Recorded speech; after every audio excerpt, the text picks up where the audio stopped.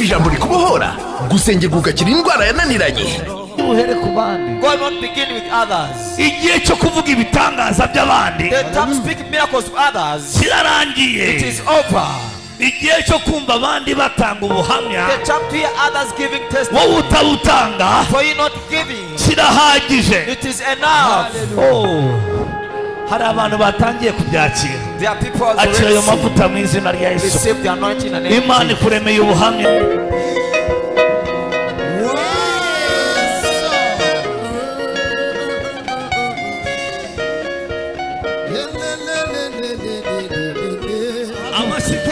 Stand up. mu rubyaro rwawe. Your offspring, mu rubyaro rwawe. In your offspring, hagiye kuvamo umuyobozi. There shall be a great leader. hari umwana ugiye kwicara mu ntebe. Intebe y'icyubahiro. a honorable seat. zonema ya fo imana yambwiye ngo igiye gushyira imbaraga mu buzima bwawe. Kuko hari imbaraga yarwanyaga gukomera mu muryango wawe. Ariko pray, yesu yambuye umwuka imbaraga. Jesus uyu mwuka wambuwe imbaraga. Uyu mwuka wavuye ku buzima bwawe. ariko wampereye imana icyubahiro. Uyu mugabo wowe for you. ukunda imana cyane. Ariko jya ukomeza uyikunde. ko yambwiye ngo yarakwimanye. But God has kept you. imana yagize gute? God has done what? nawe urabizi wararwaye bikomeye. Very sick.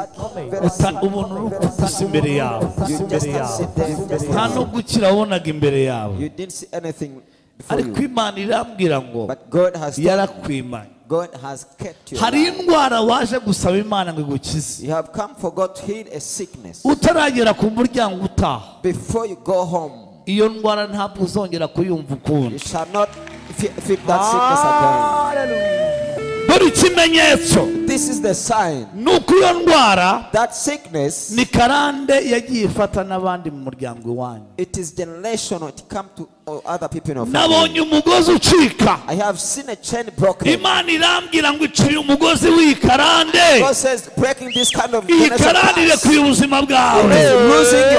Birabaye mu izina rya nde Stand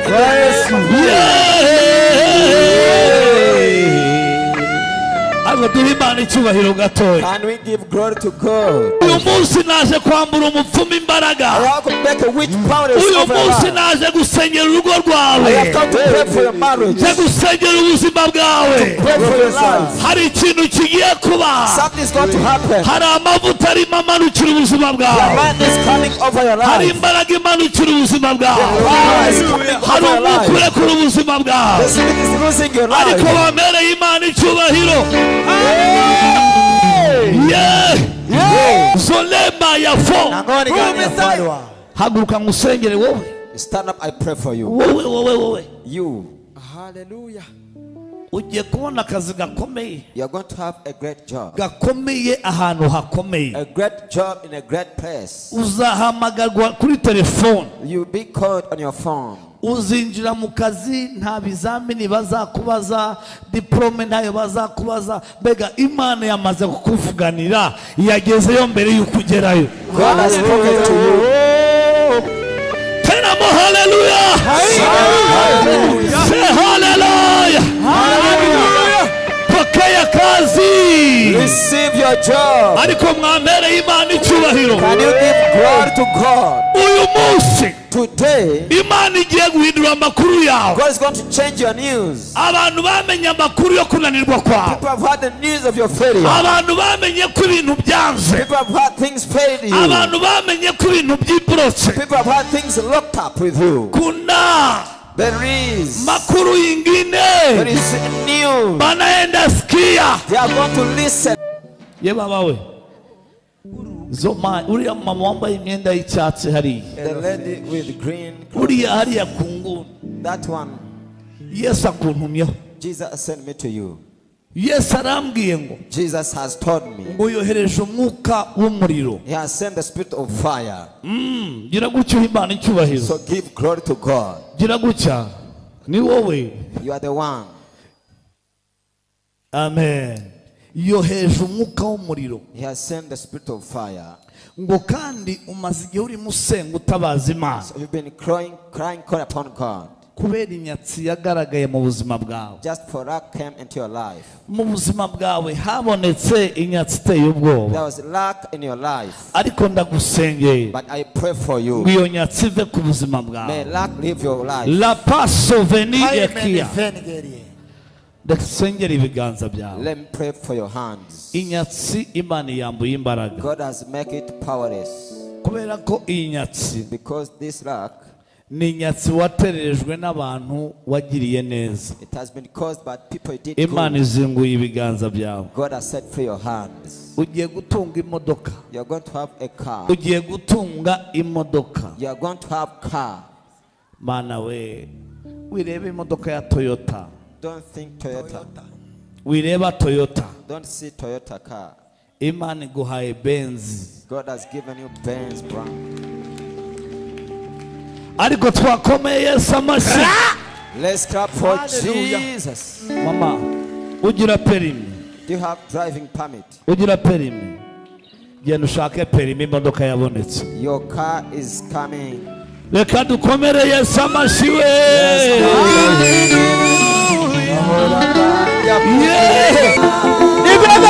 Nibebe, nibebe, nibebe, nibebe, nibembeleze, nibebe, kwa Yesu unibebe, nichukue unibe.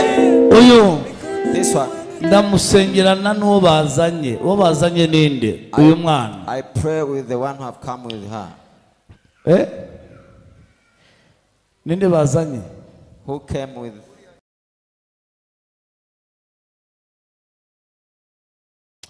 ariko dukomere yesu amashyi Let's clap for Jesus. Mupfana iki ni umuturanyi twimukiye mu gipangu ejo bundi. Yarambwiye ngo ntabwo ajya yiga. Yaragiye gukora ikizami cya leta biranga. Afata ikaramu agatitira. Shamimu fata reka sota fata umugongo we. Touch her back.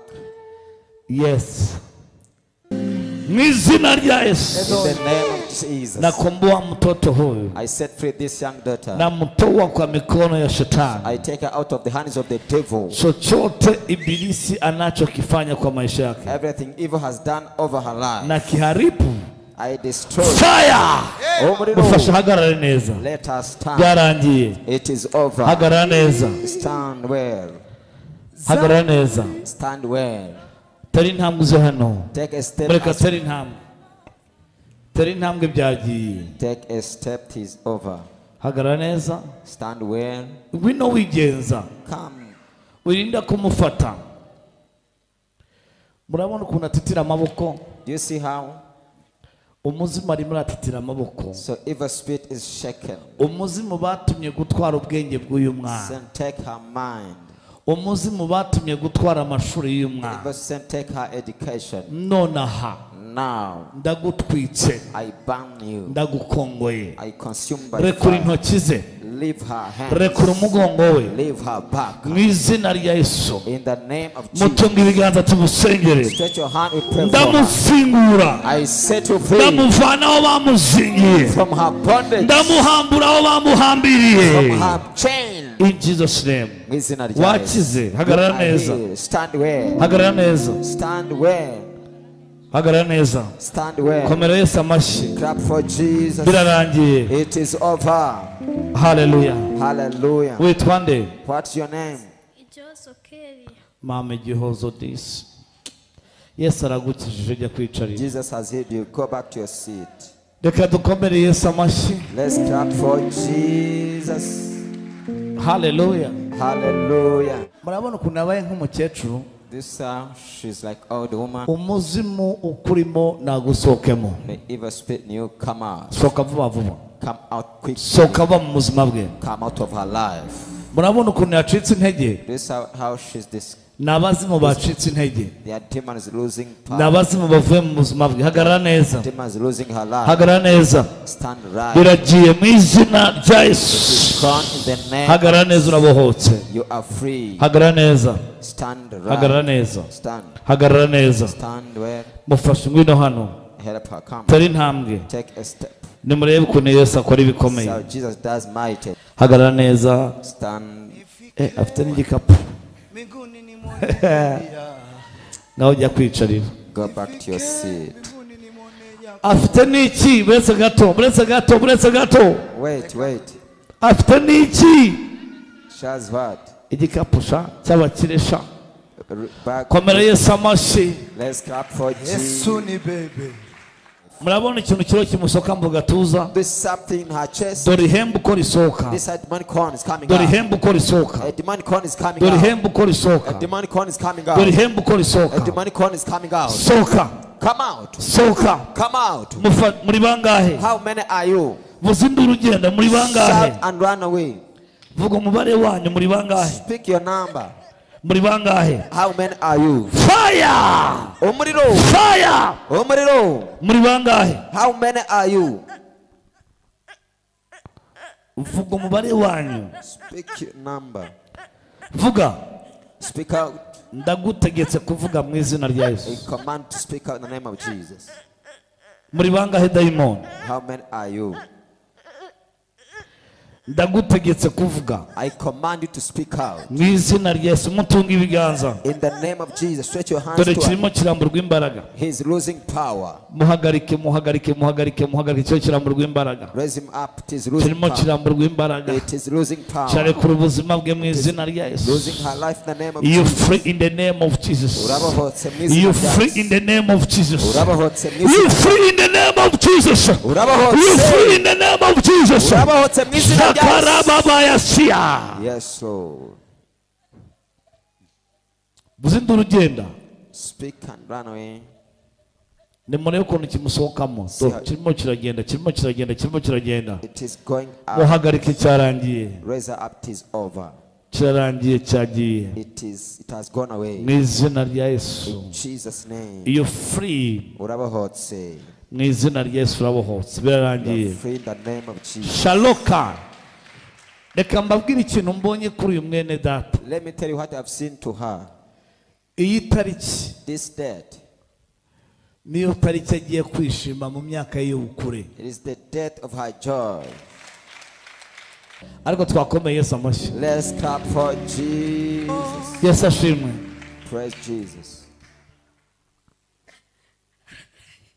Haleluya byamurenze ibintu imana imukoreye shyira ikiganza ku nda ye. Uyu murozi arapfuye kandi ugiye gutwita. Sasa awike sayi urubyaro rwawe ndaruzinguye ndaruzinguye agiye kurira amarira y'ibyishimo. Desipaya fo ariko uwiteka yesu ashimwe. Urumva umeze ute mu mubiri wawe urumva umeze ute How do you feel? reka duhe imana icyubahiro Let's give glory to God. ya ya ya ya ya ya ya ya warose inzozi You had dreams. warose inzozi undota ndimo ngusengera You dreamed when I prayed Nibyo. Is it true? urangije urota ndimo nkubwira ngo ugiye gutwita impanga Had dream when I was telling that Nibyo. you have twin in your womb. shalo panafos imana yambwiye ngo urubyaro rwawe ahantu rwari rubohewe imana iraruzinguye iyi tariki uyandike muraje God has said has set free your offspring from your from their bondage. umaze igihe kingana iki usaba imana umwana So how long have you been asking for a baby? usabye imana igihe kingana iki How long have you been praying? eh? Haleluya imana irambwiye ngo birarangiye. God has said it is over uyu ni now. mwaka wanyu musaba imana urubyaro This is your last year for birakoretse mu izina rya nde? In the name of who? kwa uwezo wote. Kwa ushindi wa Mungu Baba. Amina lele amina Amina lele amina Amina lele amina Amina lele amina Amina lele amina Yego Ninde mwami Praise the Lord. Ninde ukiza Ninde ubohora Who can set you free? Buri kintu cyose cyari kigufite Everything holding you. kiragusezeye It is saying bye to you. kikuvuyemo Leaving your life. in jesus name komeza muri ibiganza Just raise up your hand. hari imbaraga zigiye kukuzaho The power is going to come over you. uraza kuzumva zimeze nk'umuriro You feel them like fire. dore zakugezeho Zirimo ziratwika buri kintu cyose. Cyari kiri mu buzima bwawe. rimwe kabiri faya Umuriro. ubumuga bwose burarangiye. Indwara yose ari kuri iragiye Every sickness is gone away. you're free. Urabohotse. Mu izina rya Yesu. komera yesu amashyi Just clap for Jesus. Yesu mwamayi reka sifa yafu izina rye ryogezwe yanyogesheje amaraso ye yesu ahimbaze yesu mwami yesu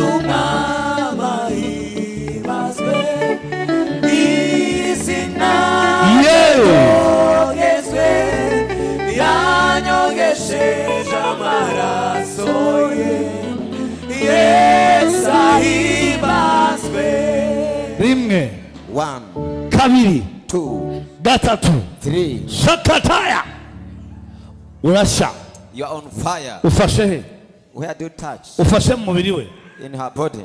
vuga hano ufashe Speak out. ufashe he ngiye kugutwika I'm going to set fire on you. ufashe he Where do you touch? hehe ushaka iki mu nda ye What do you want in her belly? ushaka iki mu nda ye What do you want? ushaka iki muri iyo nda vuga vuba vuba icyakuzanye ushaka kumwica ushaka kumwica gute ushaka kumwica ute buretse gato murebe You are going to see. Reka mbabwire ngo ijambo rya nyuma n'uwiteka urifite nta dayimoni ifite ijambo rya nyuma ku buzima bwawe Not demon, the last word over your life. nta murozi ufite ijambo rya nyuma ku buzima bwawe No witch is the last word over your ngo life. murebe na hariya barimo barabohoka So people are getting free. turi mu masengesho We are in prayer. se haleluya Hallelujah.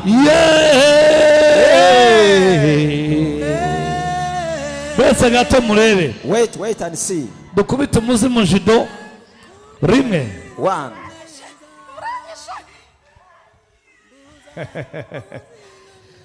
ngo mugize gute?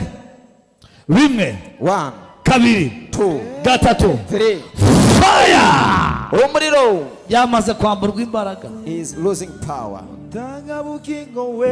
byambuwe imbaraga. It has lost jya power. kwicarira mu ntebe yawe. Go back to your seat. imbabazi nyir'ubuntu bwinshi. Mikorofone ko nagira neza. Aha. Mbuza mazina namwita.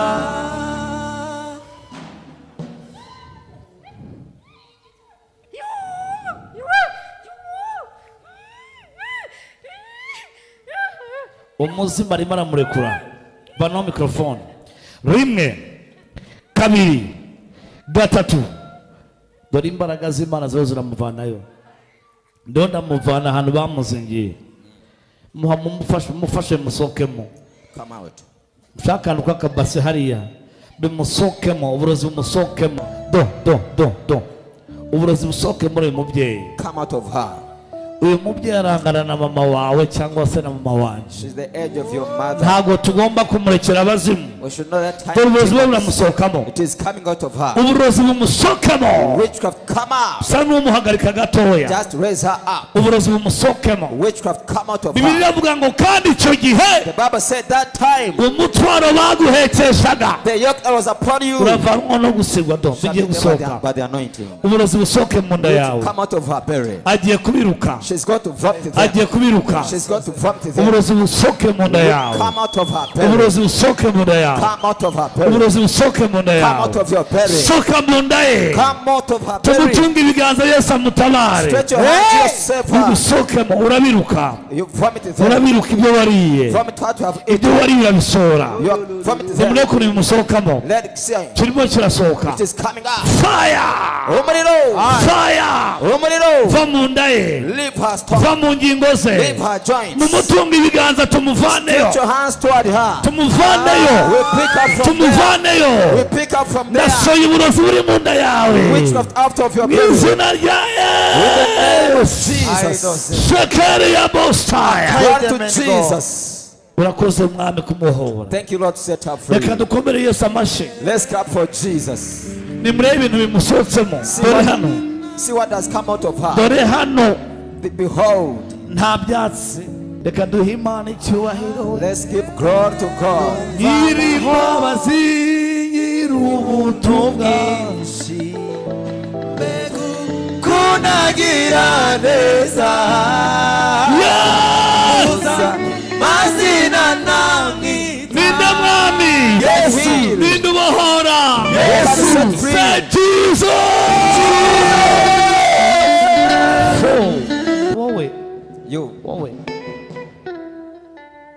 Gusengera I need to pray for you. wowe imana yateguye ko uzabonera umugisha mu rusengero God has promised shall be blessed in the church. hari impano ufite z'umwuka You have spiritual gifts, ariko izi mpano z'umwuka ufite but these spiritual gifts you have, imana yanyeretse ko hari ahantu bari baragutwikiriye ngo utagaragara so they have covered you to not show up. fata mu kiganza Touch in my hand. Wakira umwitero w'imbaraga n'amavuta. Zamura ibiganza. Just raise up your hand. mbonye hari imbaraga z'imana zikwinjiramo cyane. I have seen power of God coming in you. imana irambwira ngo ihagurukije umuhanuzi mu muryango iwanyu God says, raising a prophet in your family. ngo kandi amaboko y'uwiteka And the hands of the Lord ngo agiye gukora ibirenze ibyo wibwira mu buzima bwawe are going to do what is beyond what you think you are. acira imbaraga mu izina rya yesu Receive power in Jesus' ariko name. mwamereyemo umwami yesu icyubahiro Can you give gatoya glory to the Lord? ubuntu bwinshi neza musa mazina namwita wa mugabo we You man, imana igiye kugukoresha God is going to use you. hari umuntu w'umudamu Someone who is a lady urwaye igihe kinini muri famiye yawe has been sick for so long in your family. madamu wawe Is she a wife? arwaye gute How is she sick? yafashwe n'ibintu tuberwa indwara izo ari zo tukujyana kwa muganga ndetse bivamo nk'izo za karande zose n'abana baza kubiza kubafatwa navuza ariko bigenda byanga uretse uretse gusenga mbese Ah, arwaye nk'imyaka ingahe madamu wawe How many years now? sickness? kuva bibiri na gatandatu urumva ni imyaka cumi n'umunani yego murabona ko yari umupapa ukuze. To see his old man. kandi nanjye ndi umupapa ukuze kandi usobanutse. And, man, and me, I'm a smart old man. imana nkorera. God I serve. irambwiye ngo ikiriyo cyawe n'amarira ibivaneho kuri uyu musozi. He has taken away your and mourning. ikimenyetso. The sign. Mbonye nugera mu rugo iwawe. Ntabwo imana itegereza ejo cyangwa mu kundi kwezi. Urasanga umudamu yakize niko uwiteka avuze. Abahanuzi benshi Many prophets, baraguhanuriye baravuga ngo wa mugabo uzaba umupasiteri ni byo? A pastor. ni byo.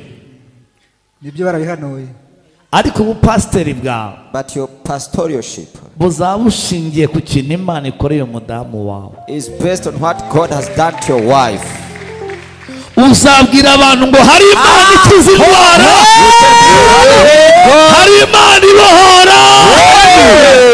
Sobidi yasirafe ninde w'umwarimu? Who is a teacher? umwarimu muri famiye A yawe teacher in your family. umwarimu Mm. Ntabwo bibuka neza yuko bari bahari abarimu twese abarimu barimo harimo umuntu w'umwarimu You have a teacher in your family. uyu muntu aretse gukora impanuka This person made accident recently kandi nabonye ameze nk'uri ku mbago and he's on walking stick. imana yambwiye ngo nawe igiye kumukiza muri uyu mugoroba God is going to yicaye hano imbere kuko imana yavuze ko uzaba pasiteri God has said you're going to be a pastor. Sit before in front. Uriya mama uriya uriya imana irambwiye ngo igarutse ku buzima bwawe. Meni hiya kotaya alona zaloshie. imana irambwira ngo Iguhaye umutaka He has given you an umbrella. kandi isohoye ibikoko mu nzu yawe And e- evil beasts have left nuko nabyumvise ngo isohoye ibikoko hari ibintu imana ivanye mu- nzu yawe God has taken away something from your house. So as a professor, I have seen a vision. mbona uherutse kurota ndimo ngusengera So you had dream. I was praying for you, kandi urimo ubohoka and they were getting free. warabirose They did dream. Hashize igihe kingana iki birose How wrong?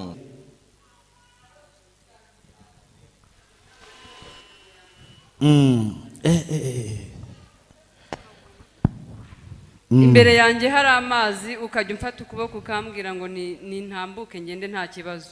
Nkatinya umfata akaboko ndagenda ndatambuka birakunda. Ubwo sinabashaga kugenda. Reka duhe imana icyubahiro Let's give glory. to God. zaba aniya serekiya fo imana yambwiye ngo uko wabirose niko bigiye kuba God said, "So shall happen as you had dreamed." Eh, imana igiye igiye gukora ikintu gikomeye mu buzima bwawe God is going to do something powerful in your life. nabonye ndimo nkuvana ahantu hameze nko nko- mu muriro mu gishanga kinini cyane I was speaking from mad places. Ijwi ry'imana rirambwira ngo ubutabazi bugiye kuza mu minota cumi n'itatu mu buzima bwawe. Veri. uwiteka yambwiye ngo urwaye umutwe. Kandi wanze gukira. Wanyweye imiti ntiwakira waba ubigotomeye imana ishyize iherezo kuri ubwo burwayi. Kandi mu gihe nahanuraga ku buzima bwawe nagiye kubona mbona marayika yogeje ibiganza byawe. ibintu utajyaga wakira. Uyu munsi ugiye kubyakira. birakoretse mu izina rya yesu. Jesus. yesu makofi.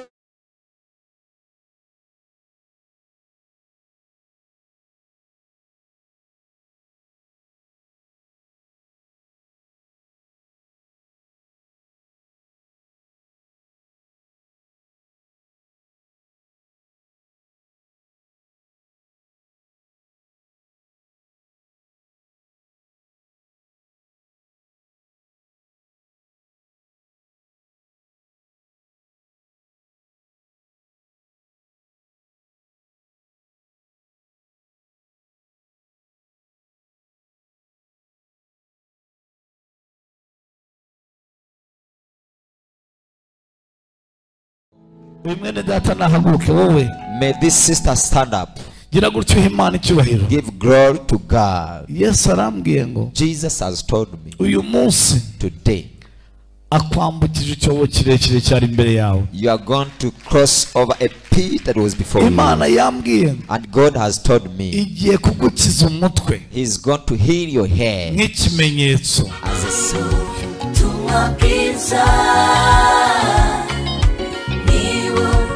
Umoze isoni kuko imbaraga. Ihesha gukiranuka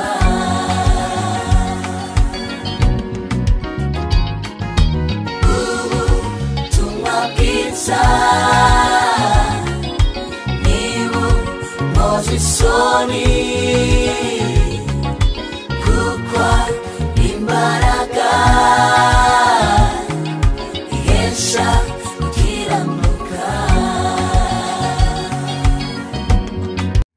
uyu mumama arashima imana ah, ikintu cya mbere ashima imana ni uko yujuje imyaka itatu muri solo hiringi dukomere imana mu mashyi.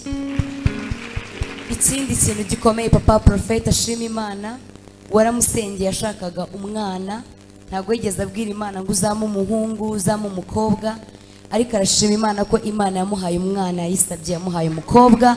Dukomere imana mu mashyi amen. Haleluya amen. Reka abantu bose bari mu iteraniro tuzamurira imana ibiganza duhereze imana icyubahiro. Papa porofeti imana yakoze igitangaza gikomeye hano. Uyu musore yaje arwaye ukuboko kw'ibumoso atabasha kuzamura ariko arashima imana ko ubu ngubu abasha kuzamura. Reka tumuhe amasegonda makeya. Ashima imana amen. Haleluya amen. Ndashimiye imana ko eh, ari umukozi w'umuhanga.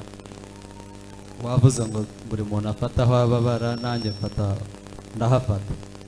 Najyaga kuzamura nkabanza kugufata nkakuzamuza ukundi kuboko. Ariko ubu ngubu ndakuzamura kuri konyine mumera imana icyubahiro. Hallelujah. amen amen. Uyu mama arashima imana ah, yarase egizame kubera impamvu z'amafaranga ariko arashima imana ko hari izindi process zakozwe agakora ikizami dukomere imana mu mashyi. Amen. ikindi kintu gikomeye ashima imana abajura baramuteye baje kumwambura bafite icyuma arashima imana ko batamwishe. Nubwo wamutabaye bakimuteye nawe arashima imana ko atapfuye duhereze imana icyubahiro ko yamurinze. Yesu amashyi. Haleluya.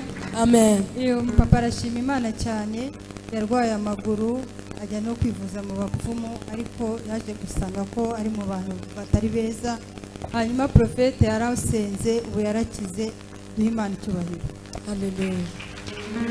muhe gatatu bwire ni ngewe wakubwiye ko narwaje umwana maze kumurwaza umuntu aranjyana ndi uw'irwamagana ati nkujyana ahantu uyu mwana bazamuvura ngezeyo nari na- nanaje gusengera hirya iriya mu miduha i nyamirambo. Eh, ngezeyo aho hantu barambwira ati "Ba- ntago ari umwana baroze ahubwo ni wowe n'umuryango wawe wose. Ati ibu burwayi urwaye ntago njye nabushobora. Ahubwo reka muhamagare musaza wanjye aba ari we ukuvura. Ati ndakubwira ibyo uzazana. Ubwo ngubwo aragenda ndaje nihute kugira ngo byihute bigere vuba vuba. Ubwo ngeze mu rugo arambwira ati uzane itaka yo ku muryango imbere uzane n'iry'inyuma mu cyumba hane nurangiza ujya no kuri wesi uzane itaka. Ibyo mbabwira ni ibyanjye mubyumve kuko hari abo biri bugarure mu nzira. Ubwo ngubwo bigeze aho ndagenda ngeze mu rugo arambwira ati noneho fata ako kenda k'uwo mwana. Numara kugafata ugure amagi atatu. Numara kuyagura uyashyire muri ako kenda ushyire munsi y'igitanda mu gitondo binzanire ubwo ndabikora kuko n'ubundi bari baduhaye umuti ngo ndi bwoge ndagenda ngezeyo afata iryogi rya mbere ararimena afata irya kabiri irya gatatu arimennye rivamo inote y'igihumbi rivamo n'ikinyarupu kigenda. Nisanze nageze ikuzimu. Ubwo aho nahingukiye mbere na mbere nahasanze inzoka ifite imitwe irindwi. Yego turashima imana ko yamuvanyeyo biragaragara dukomere yesu amashyi amen. Tuzaguha umwanya wo gutanga ubuhamya. Ngwino ngusengere. Yego. Ariko ijambo riravuga muri yesaya ibice umunani. Umurongo wa cumi n'icyenda. Ngo niba babwira ngo mujye gushaka abapfumu banwigira bakongora nimuzagire gute? Nimuzajyeyo ngo mbese ibintu by'abantu bazima wabibaza abantu bapfuye. Uko ujya mu bapfumu uba urimo wikonekita n'imizimu n'abantu bapfuye. As you go to witch doctors, you are connected to the dead people. ndakuvanye ikuzimu mu izina rya yesu. Nambuye Upon imbaraga zose. I connect bwawe. nguhuje n'amaraso of yesu Grab for Jesus. uze gushaka amazi. Uze gushaka amazi nyasengera uyanywe imana irabivanaho burundu. Reka dukomere yesu amashyi. Uyu mukobwa arashima imana bikomeye cyane. Yaje arwaye mu nda afitemo ikintu kimurya kikamubabaza. Ariko mu kanya basenze arashima imana ko kubabara byavuyeho ubu ameze neza. Umeze neza? Meze neza. Bereza imana icyubahiro. Wari ufite ikibazo kimeze gute? Mu nda nyine ha- hazaga ikintu kikamfata cyane.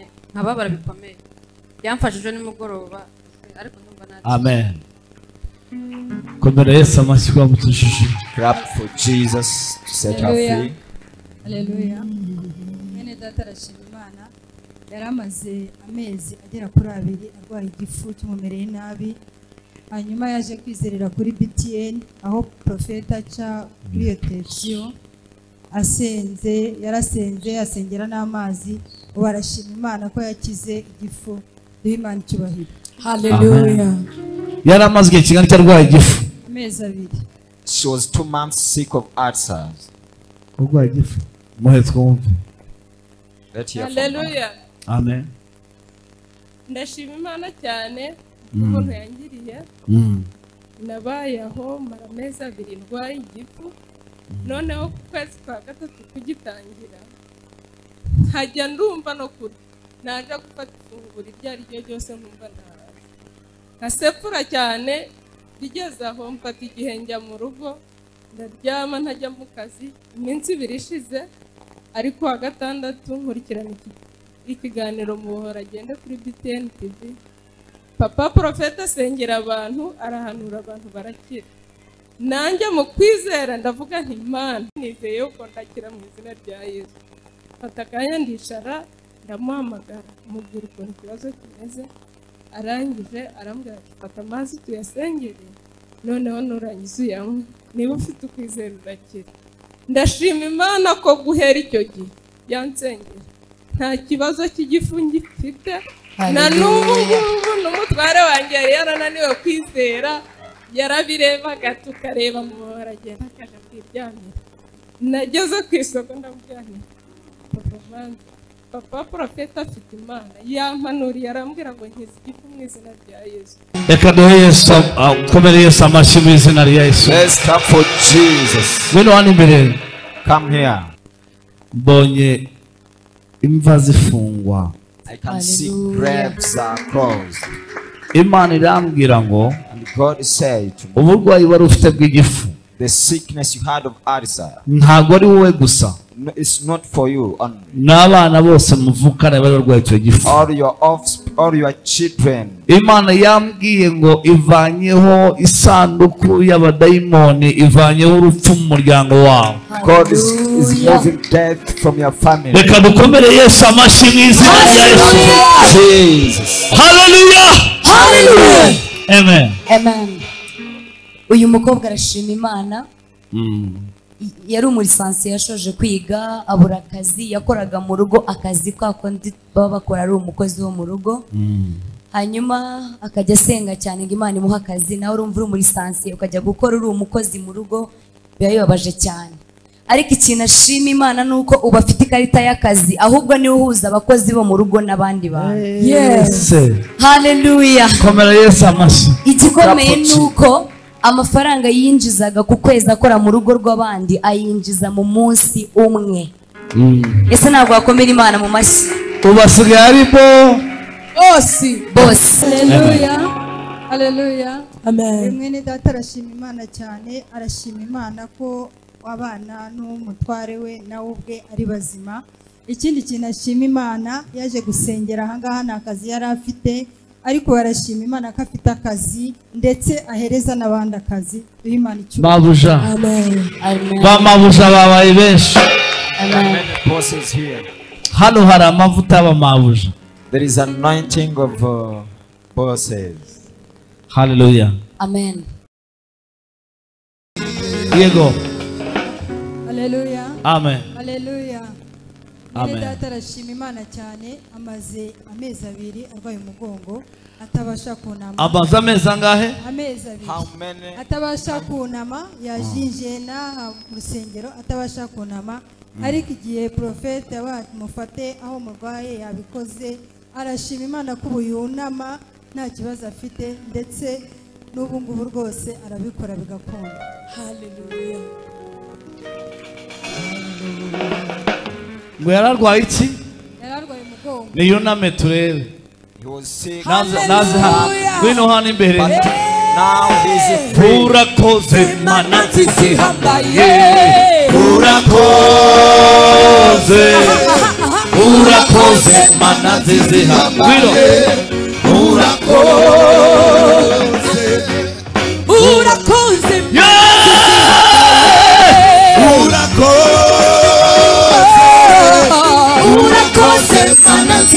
Nzizihambaye urakoze haleluya unama gato turebe.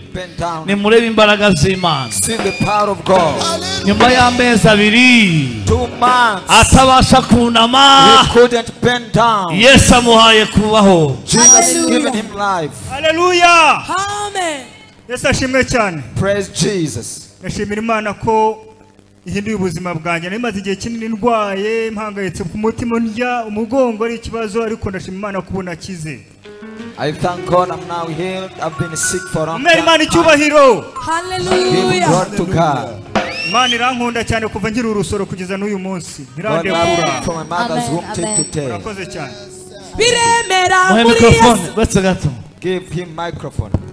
witwa nde What's your name? kabagambe juvenal kabagambe juvenal ngiye gusengera ibintu bijyanye na perime urimo urasengera perime I'm going to pray for driving permit. Do you pray for imana yambwiye ngo iguhaye perime mu buryo bwihuse. God has told you you're going to receive driving permit as soon as possible.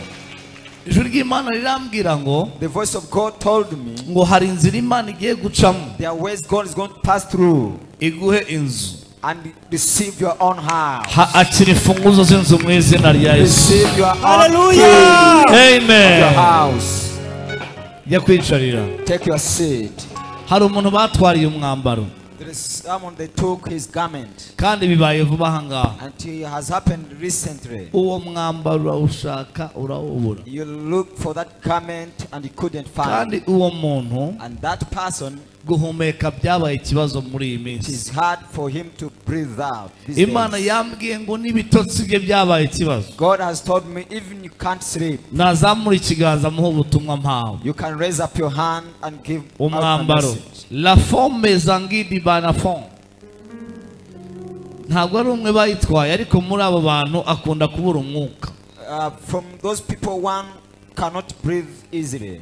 Kandi kuva bawumutwara hari ikintu cyiza kikamuniga. So after taking your garment, something seriye ni mayefo nimuzamure ibiganza asenge umunota umwe. Raise up your hand and pray for, for one minute. atansiyo Be ready. ndimo ndumva imbaraga z'imana.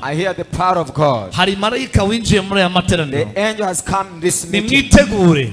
Get ready. muri bano bantu From these people, harimo umwe bari baragiye kuzingira ikuzimu the one they, they went to bind him from hell. kandi umwambaro we And his garment ntabwo watwawe n'umuntu is not taken by someone. imana yambwiye ngo watwawe n'imbeba bari batumye God told me was that garment was taken by mouse that was komeza sent by uzamure wicked people. ibiganza Raise up your hand. rimwe One, kabiri two. ndarekuye imbaraga release fire to set you free. uyu muzimu bari batumye This demon they sent for you kukwica to kill you akoresheje uriya mwenda wawe using your inner garment. amatuma nawe yeye nyavanyeho I disconnect them. arimo aramburwa imbaraga He is now made powerless. amasitori yari is touch fire Receive uzane hano imbere Bring her here. imana yambwiye ngo umwambaro we God has told me her garment. fi is tired by god ngo bari baragiye kuwukoraho ubufindo They went to make tricks on her garment. egera hano imbere uwo murozi agiye kwamburwa imbaraga That which person is going to be powerless. uwo nguwo dore yesu agiye gukora ku buzima bwawe.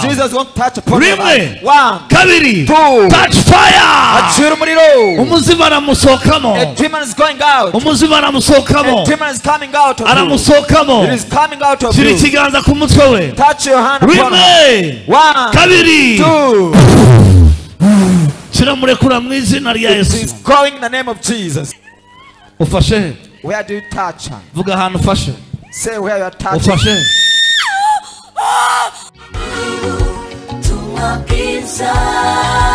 Vuga vuba vuba. Ushaka iki mu nda ye. What do you want from her, baby? ushaka iki What do you want from her? ushaka iki ushaka iki muri iyo nda ye. Buretse gato tuvanemo buno burozi. Rimwe rimwe kabiri. Ndabusohoye uburozi ndabusohoye uburozi! Umuriro. mu izina rya yesu Jesus. biramusohokamo dore uburozi buro buramusohokamo yesu aramusoramo uburozi yesu aramusoramo uburozi in the name of jesus. In jesus name. You free Urabohotse. mu izina rya yesu In the name of Jesus. muhagarike ajye kwicara Let us stand again. urabohotse mukobwa w'inzobe You are free. komere yesu amashyi You can clap for Jesus. umukobwa w'inzobe agize gute A brown lady is now free. arabohotse She's now free. imana umuntu irambwiye ngo God has told me. Haleluya ukeneye kumva ijambo rikubohora gusengerwa ugakira indwara yananiranye. Ntabwo imana ibuhere ku bandi. God won't begin with others. igihe cyo kuvuga ibitangaza by'abandi. The time speaking miracles to others. kirarangiye It is over. igihe cyo kumva abandi batanga ubuhamya. Wowe utabutanga. Not kirahagije. Hari abantu batangiye kubyakira. There are people who akira ayo already mavuta mu izina rya yesu. Receive the anointing in the name of imana Jesus. ikuremeye ubuhamya.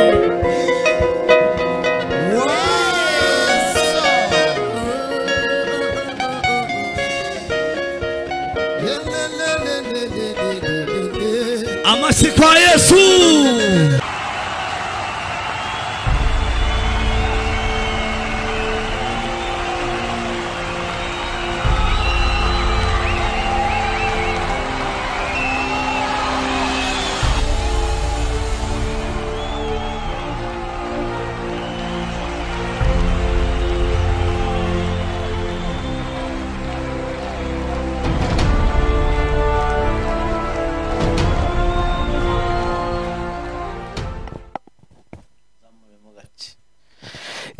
Ndabashimira bakundwa mu mwami abageze ku gicaniro mwese cy'uyu mugoroba. Reka mbabwire ngo mubarikiwe sana cyangwa se mbabwire ngo muhabwe umugisha n'umwami wacu yesu kirisito uyu munsi rero by'umwihariko ah, mfite mesaje ikomeye ku bantu mwese. Turi kumwe ku gicaniro aho tugiye kurebera hamwe eh, imfunguzo enye. Z'amasezerano cyangwa se eh, imfunguzo enye dukoresha tukakira amasezerano yacu cyangwa se mm, amasezerano imana iba yagiye ivuga ku buzima bwawe cyangwa se mibereho yawe. Reka dusenge data turagushimye muri uyu mwanya mwiza uduhaye. Uyu mwanya ntiwigeze ubaho kandi uyu mwanya ntabwo rero ko kubw'ubuntu bwawe tubonye umwanya mwiza rwose wo kuba turi ku gicaniro dusenga. Buri muntu wese mwamugeze kuri kino gicaniro uyu munsi mwambike imbaraga idasanzwe umwambika amavuta akomeye umuvane mu rwego rumwe umushyire mu rundi rwego. Twakiriye isigwa rya mwuka wera twakiriye amavuta azana impinduka twakiriye amavuta akora ibikomeye. Mu izina rikomeye rya yesu kirisito data turakwakiriye ngo ukore imirimo ikomeye. Turakwakiriye ngo ukize abarwayi. Turakwakiriye ngo uvaneho igisuzuguriro. Turakwakiriye ngo witamure nanone biravuga ngo yesu yigaragariza abigishwa be nanone na tom ahari. Uri imana itabasha kubeshya. Uri imana isohoza amasezerano kuko utabeshya. Yesu turagushimye turavuze ngo amen. Ndashimye rero mwese abageze kuri zoom ndagira ngo mbapepere cyane kandi mbabwira ngo mugiye guhabwa umugisha rwose mu mbaraga z'umwuka wera. Uwiteka hari icyo agiye gukora mu buzima bwanyu muri uyu mugoroba kuko hari icyo eh, imana yavuganye nanjye ku muntu wese turi bubane muri uyu mugoroba. Haleluya gashimira abantu mbona hano kuri zoom ya joyce ban imuha umugisha solange g wari warabuze tuzagaruke i remera. Yes mama filote nawe yari mu mavuta menshi namubonye arimo yinginga yari ari mu mavuta akomeye cyane. Imana imuha umugisha mwinshi cyane. Ya eh, reka nakire rero na n'abadukurikiye kuri youtube live hariho abantu eh, benshi ndimo mbona ba- barenze magana ba- bakurikiye rwose kugira ngo tubane ku gicaniro cyacu cy'uyu mugoroba. Uyu mugoroba rero ndagira ngo witegure ibintu bitatu. Icya mbere witegure ijwi ry'imana. Imana igiye kuvuga ku buzima bwawe. Haleluya imana igiye kuvuga ku buzima bwawe imana igiye kukugira inama imana igiye kwambika imbaraga. Ufite rero amasezerano muri ajenda yawe mu gitabo cyawe sinzi ahantu uba yanditse amasezerano eh, ariko nanone naje mu mavuta yo kwinjiza mu masezerano yawe mu izina rya yesu. Naje mu mavuta yo gusenga bikava bi- bi- bikava mu byanditswe bikajya mu bikorwa. Hari amasezerano ufite yaruzuriranye yabaye nk'ishyamba yabaye menshi menshi menshi. Ndasenze ngo imana ikumvire mungu akubariki kabisa. Imana iguhe umugisha ndetse utangare wumirwe ku bw'uwo mugisha w'imana.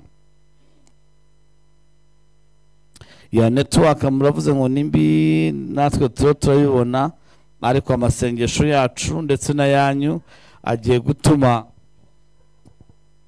netiwaka iba nziza. Reka tubishyire hamwe twese mu masengesho dukomeze kandi dukomere dukomeze ntiducike intege netiwaka iraza kuba nzima ubundi duhanure tuvuge dusenge mu izina rya yesu. Ariko ndabona abantu bari kuri kuri kuri zoom ndabona rwose eh, bari mu mavuta bahageze Eh, ndabona bo nta kibazo bafite cya network. Sinzi nimba nabo gihari. Eh, shyiraho ka introduction gato ubundi usome icyanditswe dusenge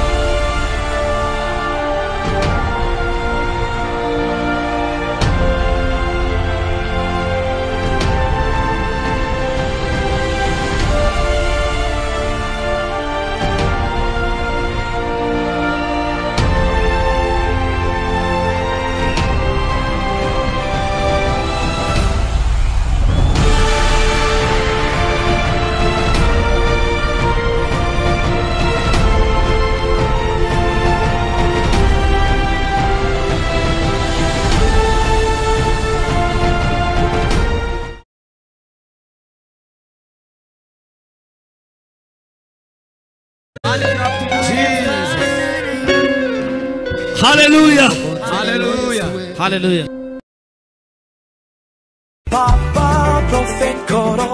ukeneye kumva ijambo rikubohora gusengerwa ugakira indwara yananiranye. Ntabwo imana ibuhere ku bandi. God won't begin with others. igihe cyo kuvuga ibitangaza by'abandi. Kirarangiye. It is over. igihe cyo kumva abandi batanga ubuhamya. Wowe utabutanga. Kirahagije. Hari abantu batangiye kubyakira. There are people who have akira ayo already mavuta mu izina rya yesu. received the anointing in the name of imana Jesus. ikuremeye ubuhamya.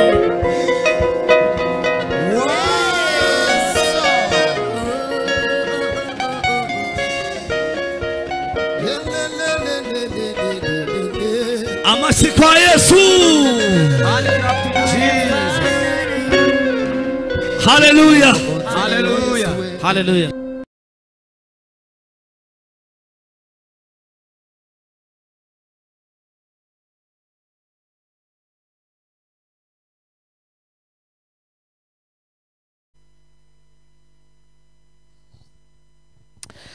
haleluya imana ibaha umugisha mu izina rya yesu.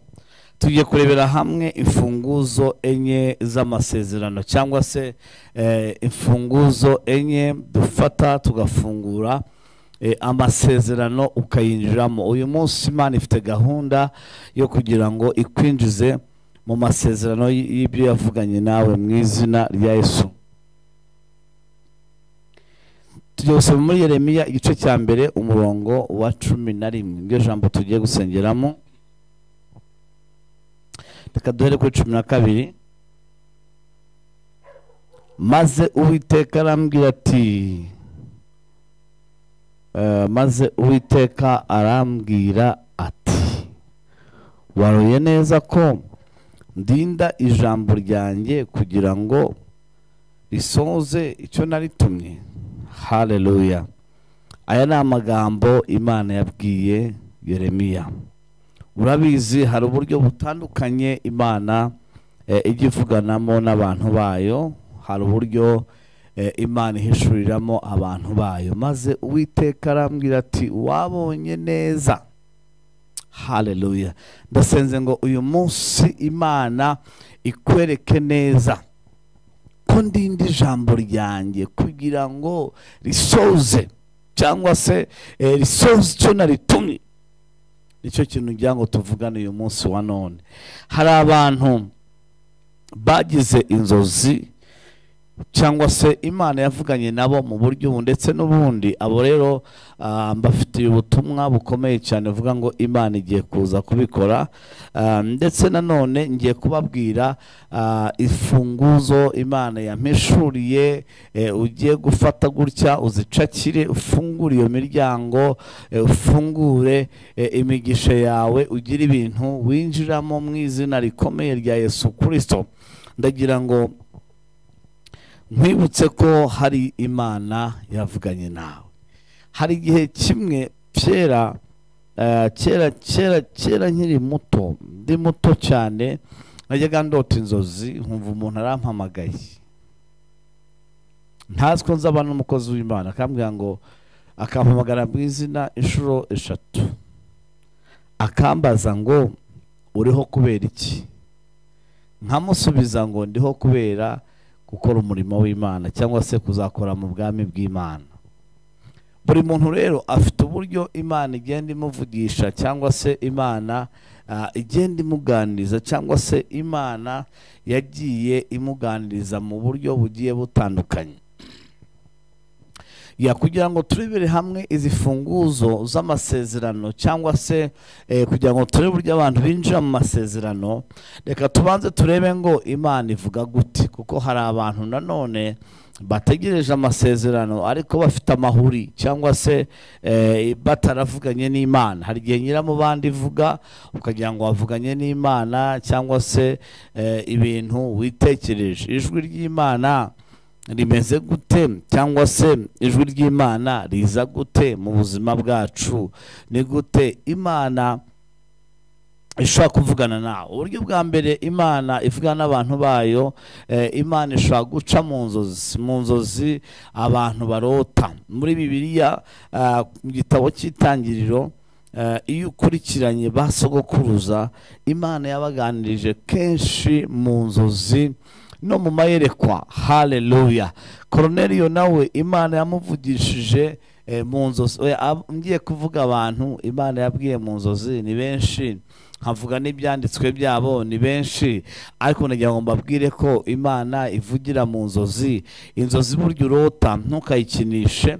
Inzozi irimura inzozi irakwimura. Irakubwira ngo ugiye kwimuka ugiye kujya mu bibazo cyangwa se ugiye kujya mu bisubizo inzozi irakubwira ngo izina ryawe rigiye guhinduka bikagenda gutyo nk'uko uwiteka eh, avuganye nawe. Mu nzozi zawe rero imana ishobora gucamo ikakuvugisha ikaguha direction ikaguha ubuzima bwawe buri imbere ikakubwira ibizaba ku buzima bwawe. Ikindi nanone imana ikoresha eh, abahanuzi abahanuzi ikoresha uwo yasize amavuta agahanura ku buzima bwawe. Birigaragaza samweri ngo afata ihembe ry'amavuta.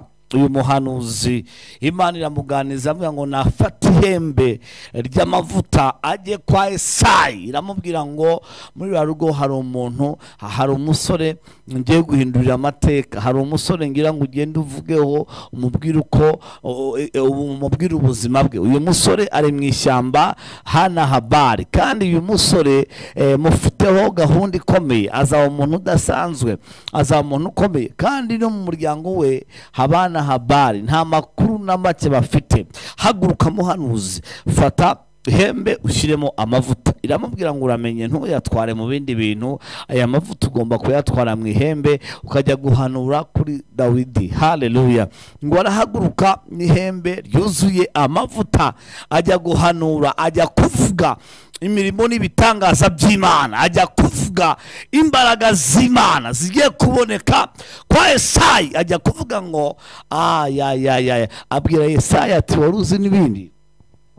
Mu rugo rwawe harimo umuntu udasanzwe azamuka nk'umuhanuzi. Imana ishobora gutuma umuhanuzi agahanura ku buzima bwawe. Ishobora gutuma umuhanuzi akavuga ku buzima bwawe. Ariko mwanya mbere tugaha imana icyubahiro? Ngo agezeyo aramubwira ngo mu bahungu bawe harimo umwami. Harimo umuntu ugiye kuba umuntu udasanzwe. Yesayi ngo abyumve ngo arishima cyane. Aravuga ngo hari abasore nigishije igisirikare hari abasore bize cyane mfitemo kuko abana b'uburanga ngo arangije ngo aragenda ngo ahitamo eh, bamwe ba eliyabu n'undi bita shamu abo ngabo yabonaga ari bo bakwiye icyubahiro. Yabonaga ari bo bantu bagomba eh, gukomera cyangwa se ari bo bantu ba- bagomba kuba abanyacyubahiro. Ngo abahitamo aravuga ngo rero muri aba ngaba urahitamo umwe. Agiye umuhanuzi n'abarebeye mu mubiri ngo abona kuko abo basore bakwiye icyubahiro bakwiye kuba abantu badasanzwe. Ngo afata ihembe ririmo amavuta agiye gushyira amavuta kuri eh, kuri eliyabu imana yambwira mugaye bwana asifiwe sana. Agiye gushyira kuri shamu imana iramugaya ngo kuko uwiteka munsi aravuga ngo kuko uwiteka atareba nk'uko abantu bagize gute bareba. Ubuhanuzi bwawe ntabwo bujya buyoba. Umugambi w'imana ntabwo ujya uyoba. Dushobora kuba turi ahangaha eh, imana yateguye kuvugana nawe hano kuri zoom. Umva? Nubwo haza abantu benshi ni wowe imana ihitamo ikakuvugisha imana ishobora guca mu kiroto. Imana igatuma ikavuga ngo uyu ni we ugomba kwakira aya mavuta. Ubuhanuzi bwawe ntabwo buzayoba. Eh, amasezerano yawe ntabwo azayoba. Nta muntu uzayayobya nta muntu uzayariganya. Nta muntu uzatwara umugisha wawe. Bibiliya iravuga ngo umuhanuzi eh, agiye kwimika umwe muri abo kuko yarebaga akabona kuko birakwiye imana iramugaya agiye kwimika undi imana iramugaya ye haleluya aravuga ngo ndabigenza nte ko abangaba ari bo basore banzaniye ko ari bo bantu ba- ba- ba- bampaye mbona bakwiye ibyubahiro. Bampaye ko ari bo nabonaga bakwiye. Ba- ba- arangije mu gihe arimo abwirwa amagambo nk'ayo ngayo icyabaye urakizi. Bibiliya iravuga ngo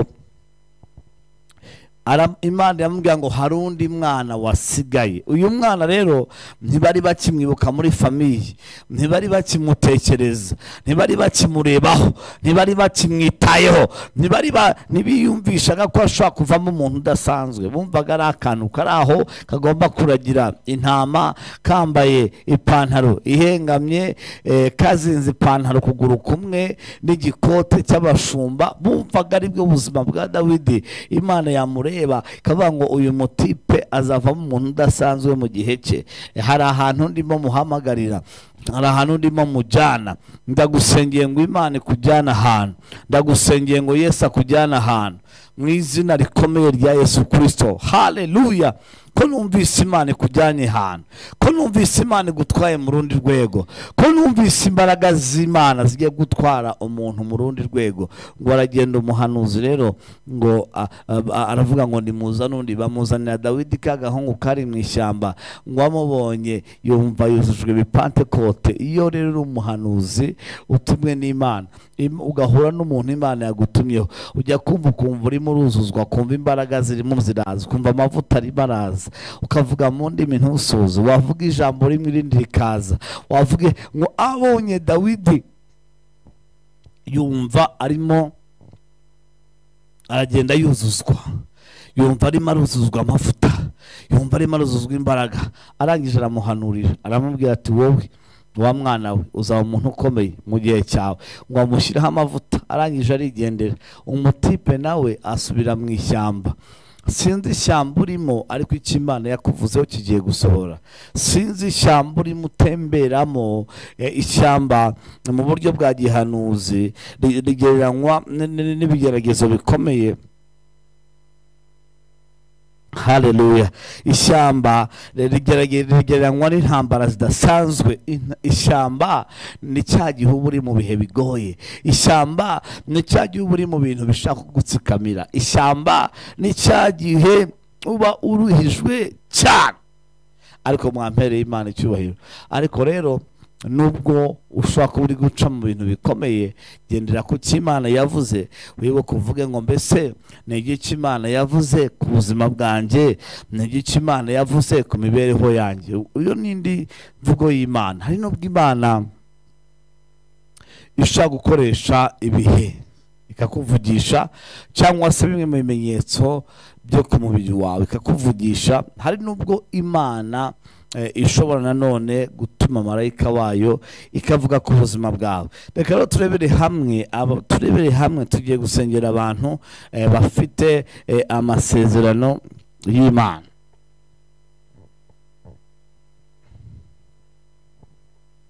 Haleluya tugiye kurebera hamwe eh, abantu bafite amasezerano y'imana. Ngiye kubabwira imfunguzo umwuka w'imana yampishuriye ese mufite amasezerano? Imana yavuganye nawe?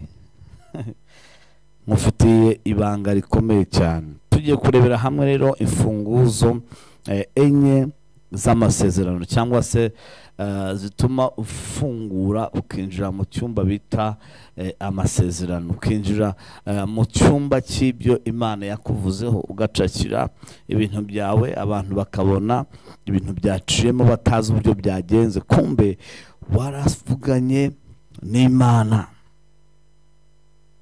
Turasoma mu baheburayo ibice icumi umurongo wa mirongo itatu na gatanu eh, icumi mirongo itatu na gatanu kugeza kuri mirongo itatu n'icyenda.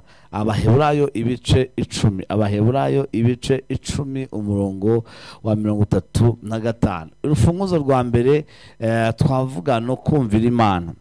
Andikaho ngo urufunguzo rwa mbere rw'amasezerano ni ukumvira imana. Twagiye.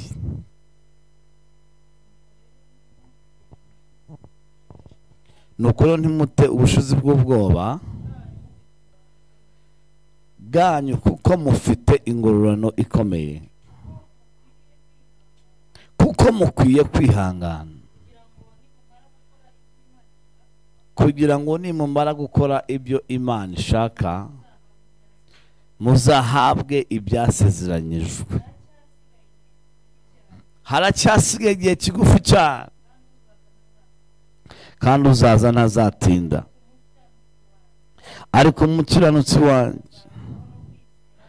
azabeshwaho no kwizera Mm. nyamara nasubira inyuma umutima wanjye ntuzamwishimira Mm. ntidufite gusubira inyuma ngo turimbuke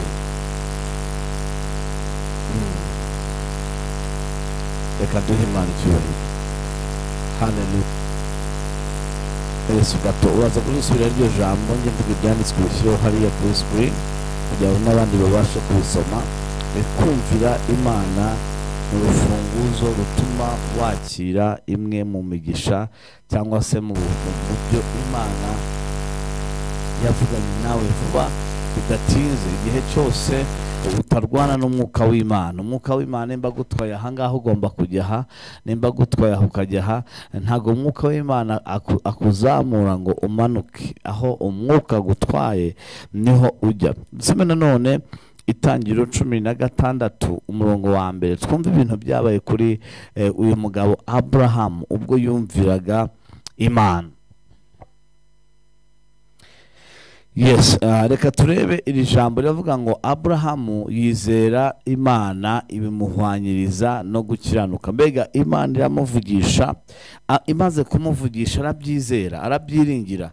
Akenshi imana ijya ivuga ikavugana n'abantu bayo ba bantu bayo ivuganye nabo na yo eh, bamwe bakaba bamwe ntibabyakire kuko imana ijambo rivuga ngo umunyantege nke avuge ngo ndakomeye. Impumyi ivuge ngo ndabona ibyo yesu yankoreye. Bwana sifiwe sana. Uwiteka ajya avugana nawe. Uwiteka ajya avuga ku buzima bwawe. Uwiteka ajya avugana nawe. Noneho ahantu bi- biremerera nuko imana ibwira umukecuru w'imyaka mirongo cyenda ikamubwira ngo ugiye gutwita eh, kandi uzabyara. Umukecuru w'imyaka mirongo cyenda ikamubwira ko agiye gutwita ikabwira sara ngo ugiye gutwita. Ahantu bikomerera ni uko imana yacu ibwira dawidi w'umushumba uri mu ishyamba ikamubwira ngo uzaba umuntu ukomeye mu gihe cyawe nubwo uri mu ishyamba nubwo nta muntu ukuzi nubwo nta nta nta nta nta shinge nta rugero ntacyo ufite ushingiyeho nta n'urugero ufite runaka. Ariko mwana wanjye uzaba umuntu ukomeye uzaba umuntu udasanzwe mu gihe cyawe. Aho ngaho rero ni ho birengera ubwenge bw'abantu.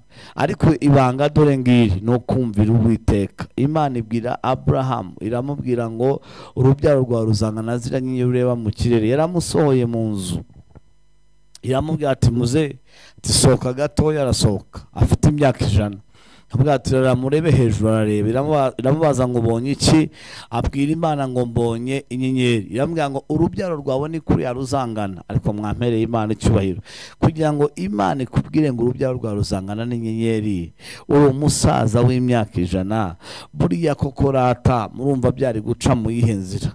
Biravuga ngo kuko ari nta jambo imana ivuga ngo rigire gute rihere. Niko ijambo rivuga muri ruka ndagira ngo uyu munsi wa none wumvire imana.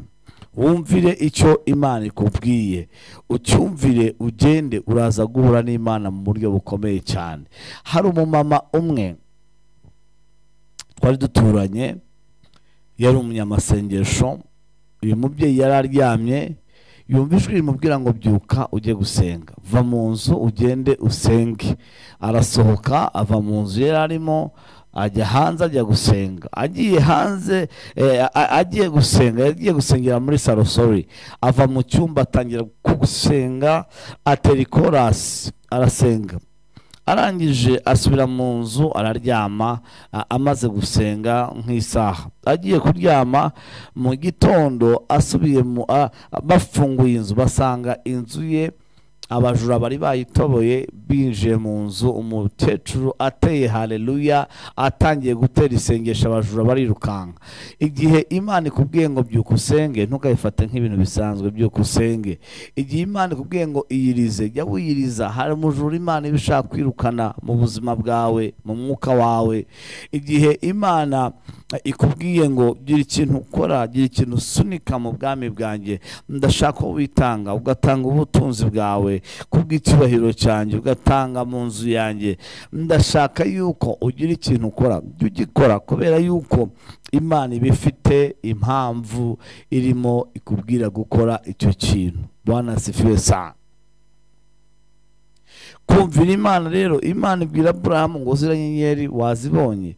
Bibiri igaragaza ko aburahamu yagerageje no kuba inyenyeri yabonye mu iyerekwa bikamunanira. Iramubwira ngo ni ku rubyaro rwawe ruzangana ngo aburahamu yizera imana yizeye imana cyangwa se yumviye imana ngo imana ibimuhwanyiriza no gukiranuka. Imana ibona ko eh, ari umukiranutsi. Imana ibona ko ah, ari umuntu ukiranutse rwose kubera yuko yumviye ijwi ry'imana. Ndagusengeye ngo uyu munsi imana iguhe kumvira ijwi ryayo. Urufunguzo rwa kabiri ni urufunguzo twakwita eh, face cyangwa se kwizera. Kwizera imana.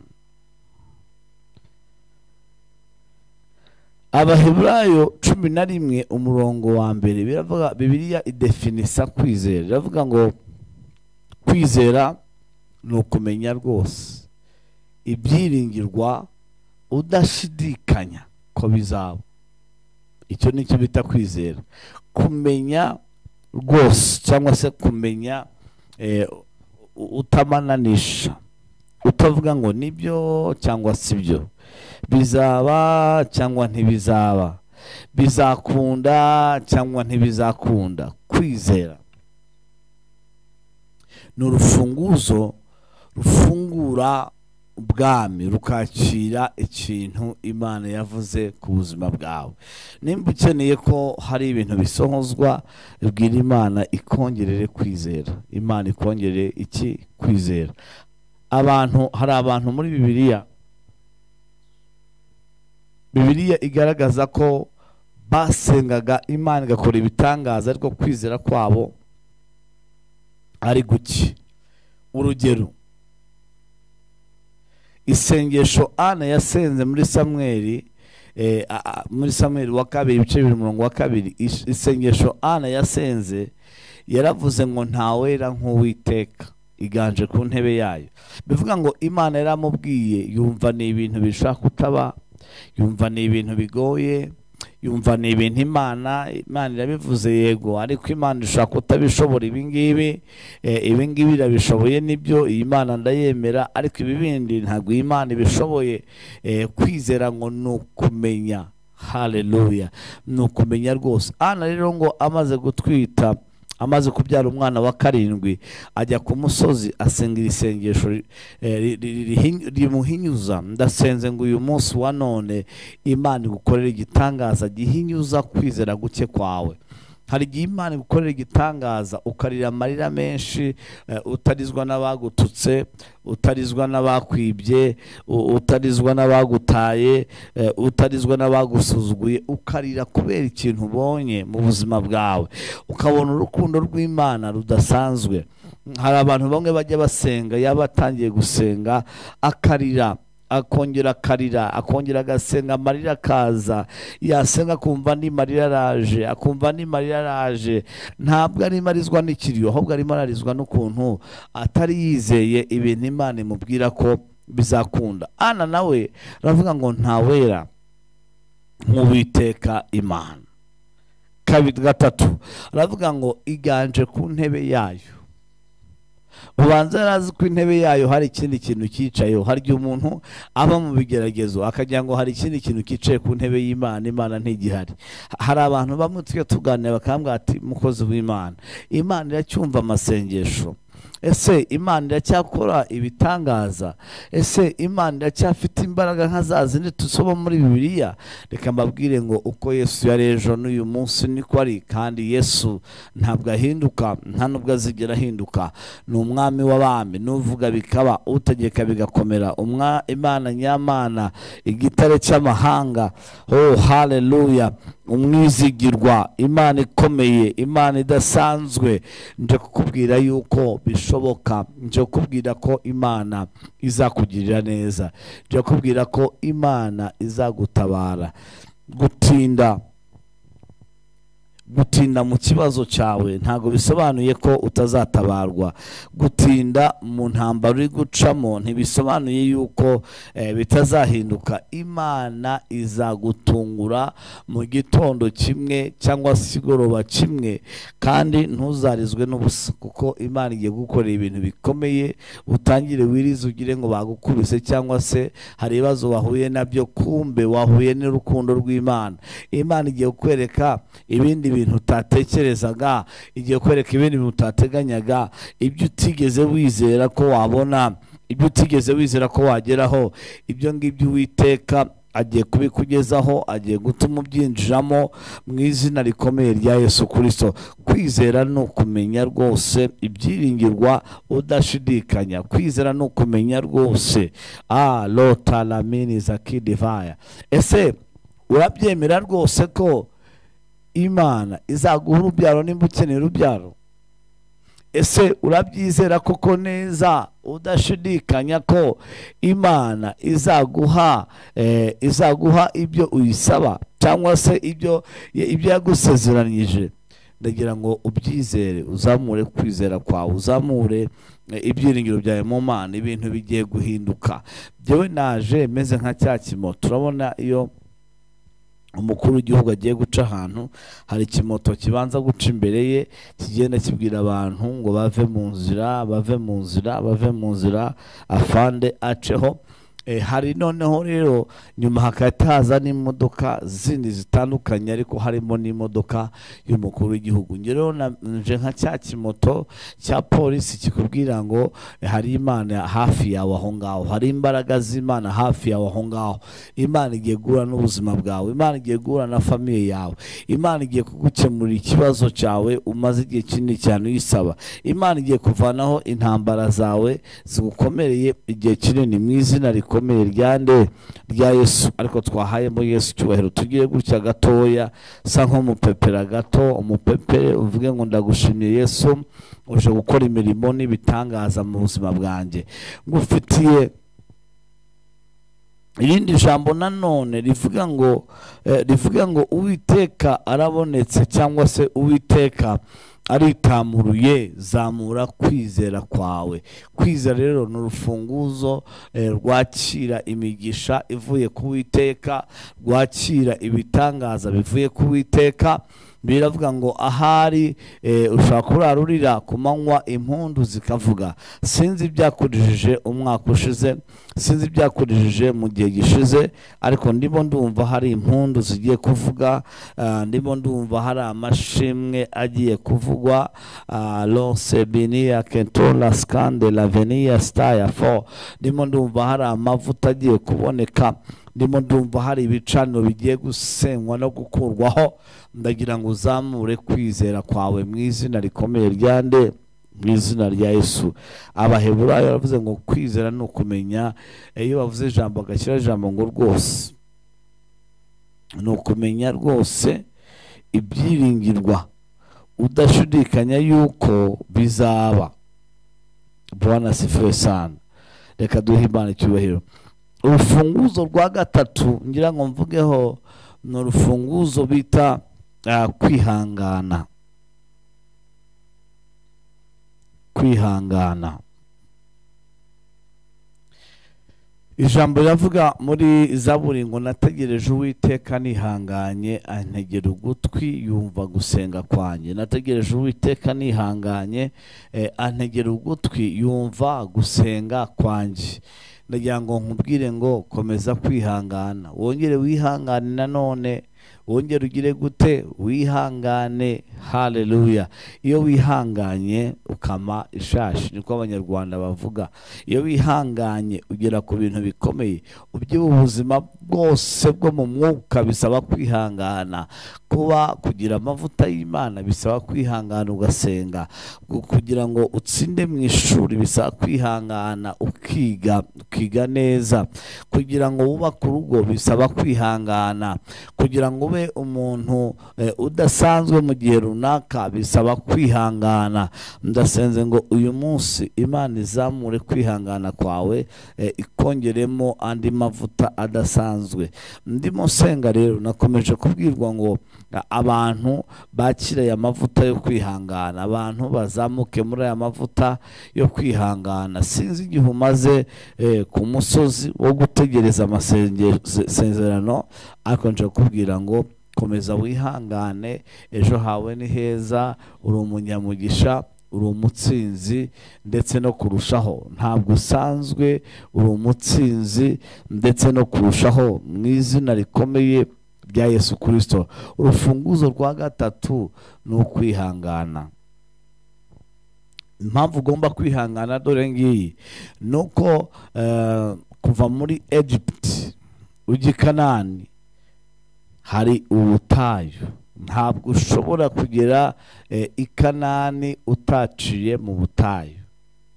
Rero iyo utihanganye mu butayu kugera i kanani biba ikibazo. Hari abantu rero benshi bashaka gusimbuka bakagira gutya akabageze i kanani. Iyo rero ugiye usimbutse ukagera i kanani eh, cyangwa se ugaca indi nzira ya bugufi ukagera i kanani utaciye mu butayu igikurikira ni iki? Eh, ubutayu bugusanga i kanani ukajya gukorera ubutayu i kanani. Ariko iyo wihanganye ugasenga ugasengerwa ugashaka imana ukihangana ugakomeza ugashinyiriza ugashaka amaso y'imana eh, urarenga urenga ubutayu. Ubutayu mu buryo bwa gihanuzi ni ahantu ni ahantu umuntu ageragerezwa cyangwa se eh, ni ahantu umuntu ahurira n'ibintu bimucisha bugufi cyangwa se ibintu bimusubiza inyuma nubwo hari ibimaze igihe bishaka kugusubiza inyuma nubwo hari ibimaze igihe bishaka kugucisha bugufi nje kukubwira ngo ikanani yawe irahari. Kanani yawe irahari imigisha yawe irahari. Ibanga ni ukwihangana. Abisirayeli bamwe kwihangana byarabananiye mose agiye gusenga mu butayu biremera izindi mana. Baragenda barema utundi tumana bafata amazahabu y'abadamu bari aho ngaho n'ibindi barabikusanya bakoramo imana bakoramo ibigirwamana bakoramo imana za fake kubera iyo mpamvu kuko ah, batari bagize umwanya wo kwihangana. Ndagusengeye ngo uyu munsi wa none imana ikwambika amavuta yo kwihangana. Wihangane mu rugendo rujya mu ijuru wihangane mu buryo usengamo wihangane ukomere kandi ukomeze. Imana igiye gukomeza ubuzima bwawe.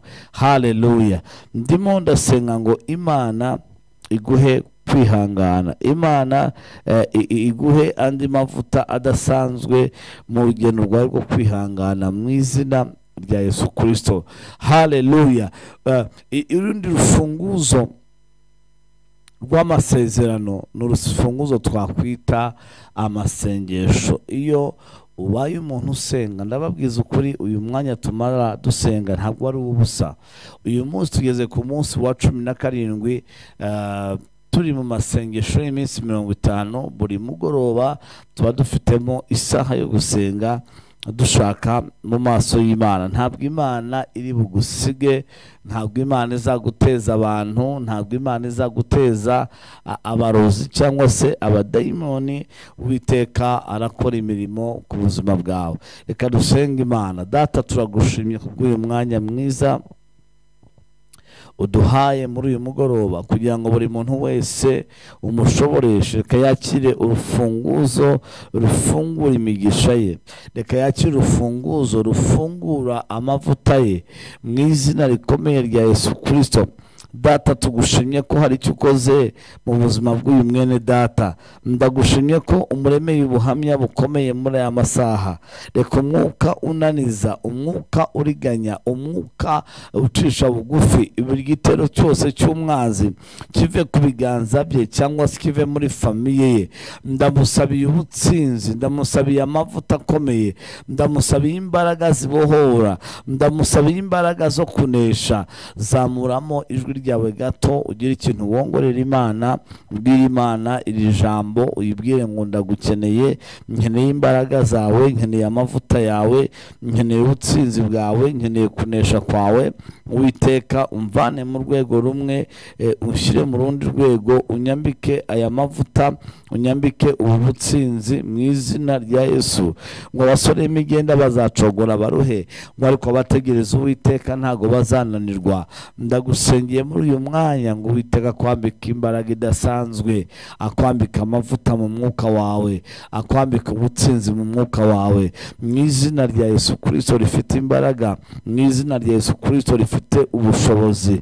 Ndagusengeye ngo imbaraga z'imana zikuzeho mu buryo ndetse n'ubundi mu izina rikomeye rya yesu kirisito haleluya imana y'amahoro ikwambitse imbaraga. Ndabohoje amasezerano yawe. Ndatsinda umuzimu ukurwanyiriza mu kirere. Ndatsinda umuzimu ukurwanyiriza mu butaka. Buri kintu cyose kirwana kugira ngo utakira. Buri kintu cyose kirwana kugira ngo utinjirayo. Kirimo kiramburwa imbaraga n'uwiteka. Kirimo kiramburwa imbaraga n'amavuta y'uwiteka. Uwiteka kurimbishe uwiteka kwinjiza mu butsinzi mu izina rya yesu. Imbaraga z'imana zirakwambara. Amavuta y'umwuka yaragutwikira ntabwo uri butsindwe ntabwo uri buriganywe n'ibyajyaga bikuriganya. Imbaraga z'imana zikujeho muri uyu mwanya mu izina rikomeye rya yesu kirisito reka tuvugire hamwe twese ngo amen. Reka dushyiremo yo akaririmbo eh, abaririmbyi ubundi tugaruke twinjira muri mu isengesho ry'ubuhanuzi aho tugiye gusengera abantu ibyifuzo bitandukanye kandi uwiteka agakora ku buzima bwabo. Dushyiremo akaririmbo ku buhanga bw'ibyuma k'abantu baririmbyi nyuma yaho mite ngaruka badushyire akaririmbo kamwe.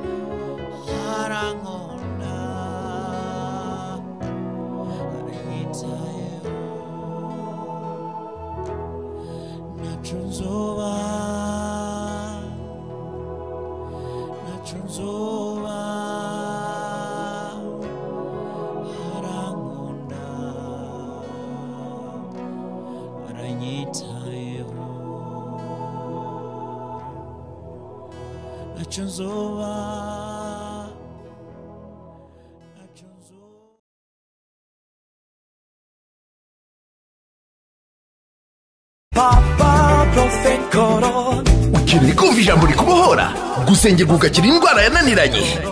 Ntabwo imana ibuhere ku bandi. God not begin with others. igihe cyo kuvuga ibitangaza by'abandi. Kirarangiye. It is over. igihe cyo kumva abandi batanga ubuhamya. Wowe utabutanga. Kirahagije. Hari abantu batangiye kubyakira. There are people who akira ayo already mavuta mu izina rya yesu. Receive the anointing and imana ikuremeye ubuhamya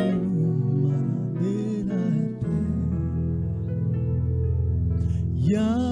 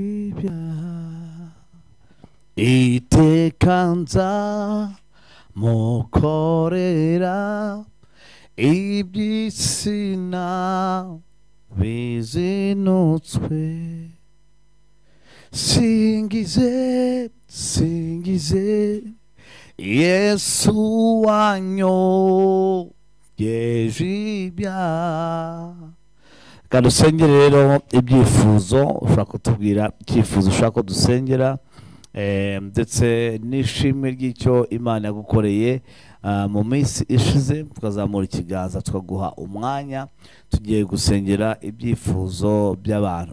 Kuri zo mushobora kuzamura ikiganza gutya katubwira ngo ndashaka gushima imana kubw'ibyo uwiteka yakoze ku buzima bwanjye. Urazamura ikiganza tuguha umwanya. Hari elizabeth. Ushima imana ni icyifuzo ushaka dusengera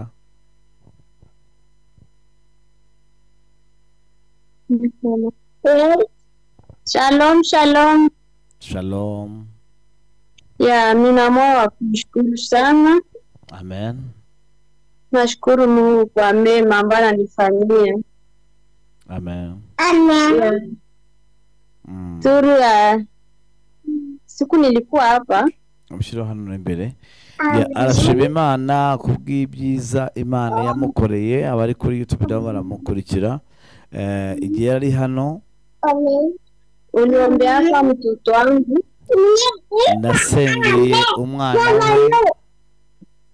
Huyu ah, nilikuwa namrudisha hapa.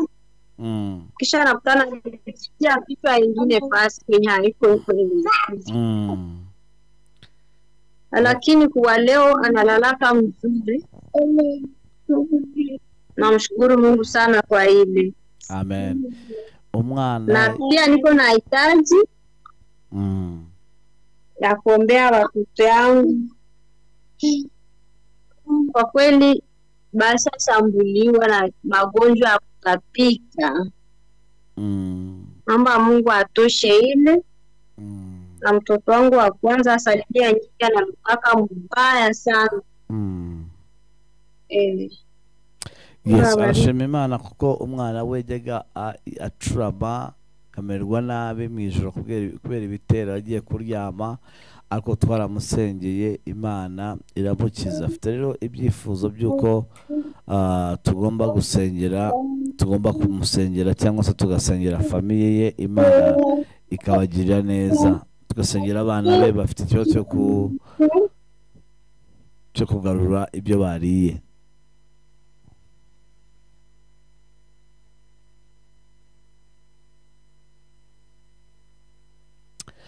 Ndasenze mu izina rya yesu Baba, asante kutendea mwanawe miujiza. Umetenda mambo makuu kwa maisha yake, Namuzingatisha damu ya Yesu. Chochote anachohitaji kutoka kwa wewe Mungu, mutendee mema, mutendee miujiza. Naachilia mafuta ambaye anakomboa, naachilia baraka kwa maisha yake.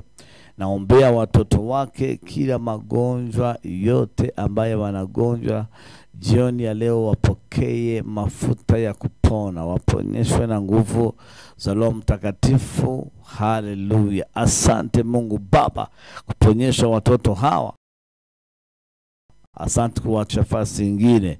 Chochote ibilisi anachokifanya kwa maisha yao na chiharibu na kichoma na fukuza nguvu za giza zote kwa jina la Yesu Kristo aliye hai. Asante Mungu kutenda miujiza. Asante kubariki mama hoyo.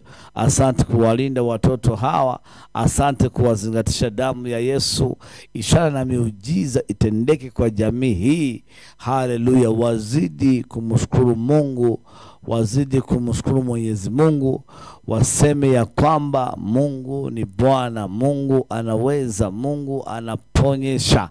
Asante Mungu kutenda miujiza kwa jina la Yesu, amen. Mungu akubariki sana.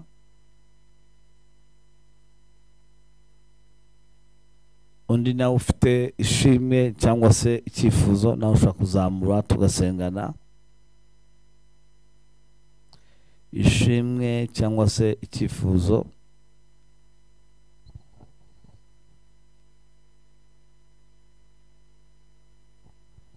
Ya iradukunda emeline. Ya na Eric ndabona yazamuye. Iradukunda emeline. And Eric.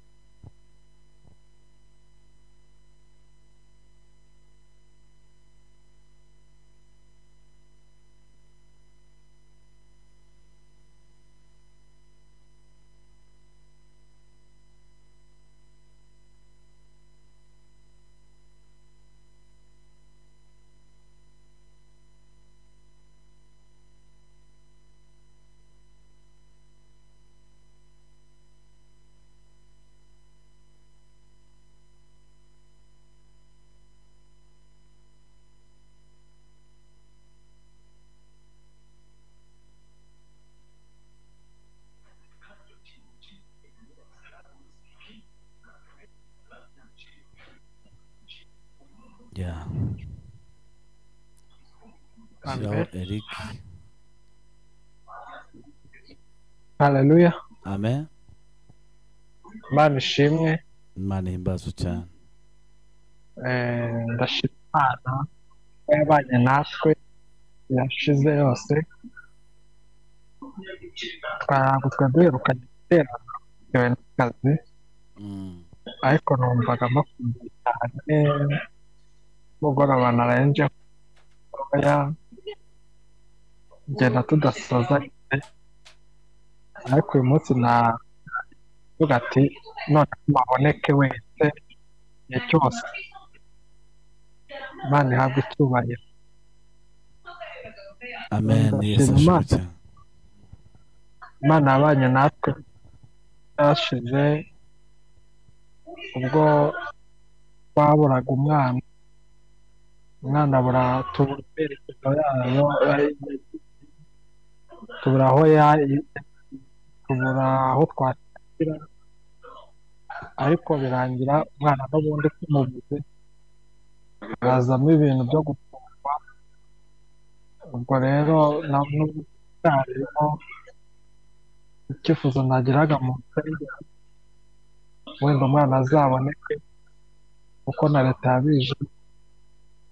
Ubwo rero turahangayitse cyane turagira ngo mudufashe tukiri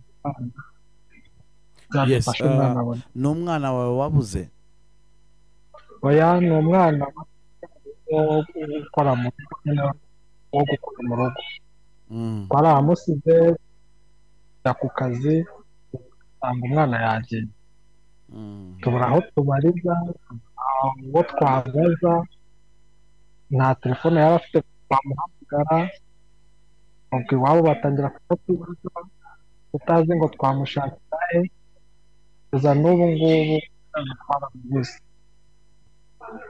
usibye imbaraga z'amategeko niyo yonyine ikora natwe ubwo iraturemereye data mu izina rya yesu ndasengeye umugaragu wawe ndasengeye famiye ye ndabashinganye mu maraso yesu. Mbashinganye mu mbaraga z'imana ndaremerera icyari kubaremerera cyose? Umwuka unaniza umwuka uriganya mwambuye imbaraga ku mubiri wawe mwambuye imbaraga mu mibereho yawe. Witinya dore uwiteka yohereje ingabo yohereje amavuta gukora imirimo n'ibitangaza. Ah lokini ya sando veniance detail Meri engolo sando bariance de kini fome enestaye vorimande ya staye ndimo ndasengera uriya mwana wabuze uyu mwana wabuze. Eh, ari hafi y'ahantu utuye. Ndimo ndamubona mu bice by'inyamata. Nyamata yego. Ndimo ndamubona rwose uyu mwana hano i nyamata melosi edebaya fo e, nagiye kubona kandi mbona mu minsi e, cumi n'itandatu mbona imana izawukorera igitangaza kandi mbona uyu mwana rwose ntugire ubwoba ntuhagarike umutima ni umugambi satani yari yateje kugira ngo ahungabanye umuryango wanyu ngo ariko uwiteka agiye kwitamurura. Ndasenze ngo imbaraga z'imana zikora ibikomeye. Ndasenze ngo imbaraga z'imana zitamurure ndasenze ngo imigambi y'umwanzi burizwemo. Hiyawe no mesiya angolo desitayi ndasenze ngo imigozi y'umwanzi icike.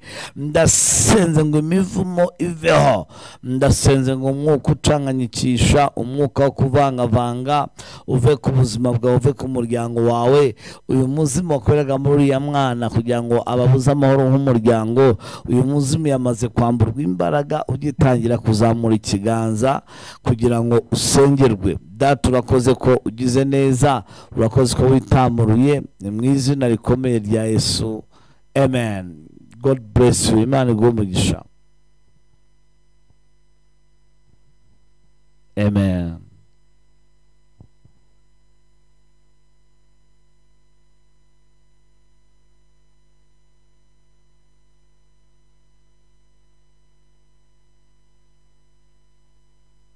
Iradukunda yagarutse. Iradukunda emerine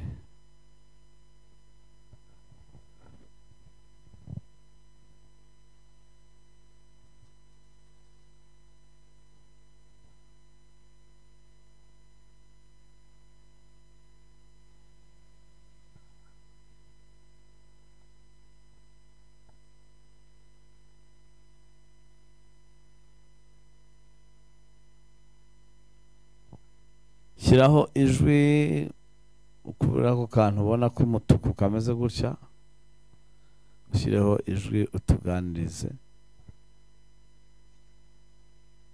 Haleluya. amen Ndashima Imana ko yandinze njye n'umuryango wanjye. urazamuramo n'ijwi Ndashima Imana ko yandinze n'umuryango wanjye. arashima imana ko yamurinze we n'umuryango we Nkaba nari mfite icyifuzo ngo nsengere Imana imeze. alo Nkaba nari mfite icyifuzo ngo nsengere Imana imeze. urimo uravugira kure icyifuzo ngo nsengere Imana imeze. imana Ime viza. eee ushaka visa yesu imana ishimwe ko yakurinze n'umuryango wawe. Jya utya ibiganza byawe ngo usengere biravuga ngo nsaba amahanga nzayaguha kubera umwandu. Ndagusabiye imigisha. Ndagusabiye umugisha wa viza imana igufungurire imiryango ugende ubona imigisha wubake igihugu cyawe cy- cy'u rwanda wubake eh, umurimo w'imana wubake ubuzima bwawe. Ndasenze ngo inzira zifunguke ugende uhahe kandi uronke mu izina rya yesu. Umwuka ukunaniza umwuka ugukandamiza umwuka w'inyatsi umwuka wo kunanirwa. Mwambuye imbaraga mu izina rikomeye rya yesu. Imbaraga z'imana zikujeho muri aya masaha. Imbaraga z'uwiteka ziragutwikiriye. Kunanizwa kose kuriganywa kose bivuye ku buzima bwawe. Mu izina rikomeye rya yesu. Amen. Byakire numvise imana yamaze kubikora. Turi mu kirere cy'amavuta adasanzwe n'imbaraga zidasanzwe imana yamaze kubikora rwose. Mu izina rya yesu Reka twakire undi.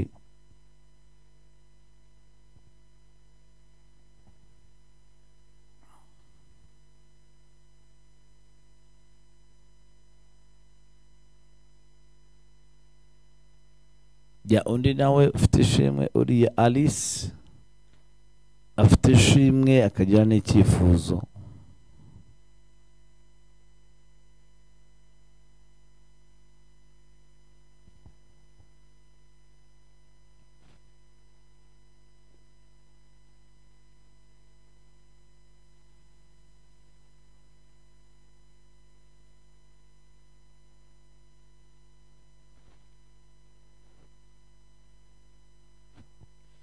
Ya mutinga ashyiraho ijwi kuri ako kantu gatukura kuri mikorofone yawe ni bwo tubasha kumva ijwi.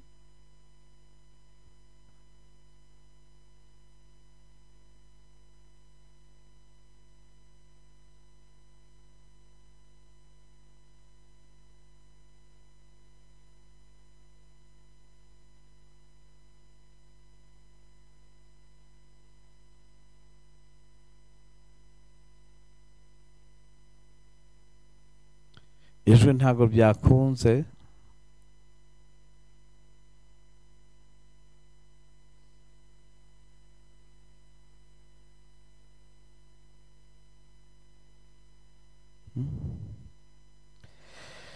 Yes alice imana iguha umugisha ijwi ryawe ntabwo byabasha kutugeraho.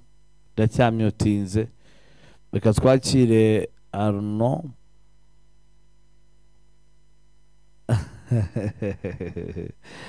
afite amashimwe akomeye afite ibintu bikomeye cyane imana ikomeje kuganira nawe reka tumwakire mu izina rya yesu.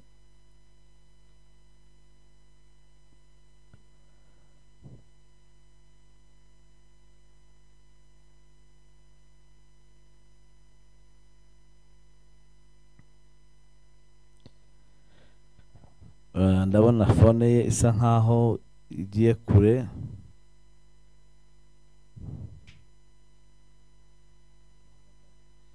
Yes.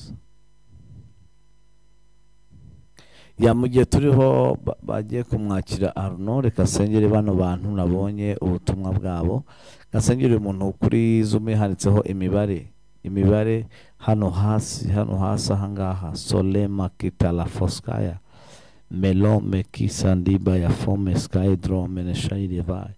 Melo kasonta la menibaya fo. Mwizina rya yesu rihambaye. Haleluya mushyireho gato dusengane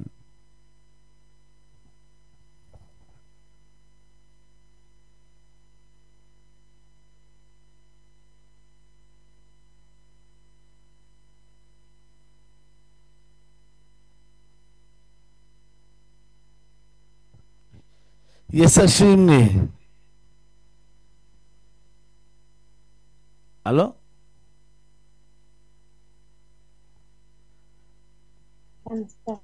Rutinga yes. Bya- byakunze. Yesu ashimwe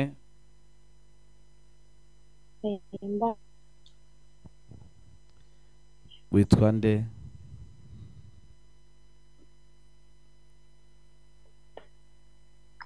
Alo? Witwa nde? Wi shalom yesu ashimwe cyane nari mbaje ngo witwa- nde? Nitwa Agathe Niki. yego. Ko nabonye urimo usengera bijyanye n'akazi? Eh, akazi. Numva imana ya mu ntera.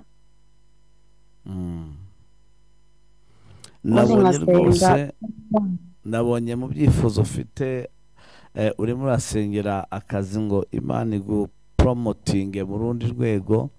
Ah, ndangije ndabwirwa ngo imana igiye kumva gusenga kwawe. Eh, hari ukuntu ujya urwara eh, hari ukuntu ujya urwara umugongo. Umugongo ukakumerera nabi cyane. Byari nk'igitero ariko mbonye imana igiye kugukiza mu izina rya yesu. Haleluya ndagusengeye ngo imbaraga z'imana zigukize uburwayi bw'umugongo ubumuga bwose. Lokene maya fosi rimini fo ndimo ndasenga nkumva uwiteka kwambitsa imbaraga ndimo ndasenga nkumva eh, hari umuzimu uvuye ku bitugu byawe hari umuzimu urekuye ibitugu byawe.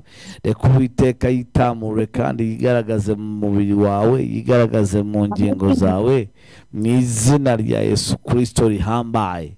Imana Haleluya. uburwayi bw'umugongo kandi ibijyanye n'akazi akazi ukora kagiye guhinduka. Kagiye guhinduka ariko ntabwo kazahinduka kavaho kazahinduka ubona poromosiyo niko uwiteka Amina. none guhanura ku buzima bwawe kandi mu gihe nari ndimo senga nabwiwe ngo umaze igihe wabwira imana ngo mpa umwanya wo gusenga umaze wumva ijwi kubwira gusenga ntuzi impamvu yabyo eh, hari n'ubwo wari wabiteguye ejo bundi bisa n'ibigoranye ariko fata umwanya muri aya masengesho ugera iminsi yo gusenga imana izakubera amaboko n'ibyiringiro ndagusengeye muri uyu mugoroba kugira ngo amaboko y'uwiteka lomene sika lavenisi devaya drone mini sangolo binifo agote ubuzima bwawe. Imana igukingurire imiryango. Imana igufungurire eh, imiryango. Uwiteka kwinjize mu butsinzi budasanzwe mu izina rikomeye rya yesu kirisito data urakoze kugize neza. Amen. Amen. Yesu aguha umugisha. Yesu aguha umugisha. Aruna yahageze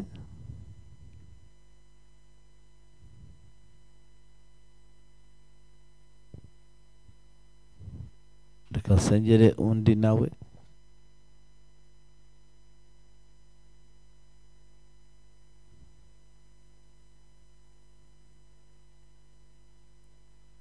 Ya konegisiyo yamubanye konegisiyo gasengera undi muntu hariya ndimo ndamureba lopesi foma ya kia. Melonda la site reverence de taille mama chantal mushyireho uyu mama hano hejuru. Uyu nguyu. Hari mesaje mpawe mu kanya ndimo senga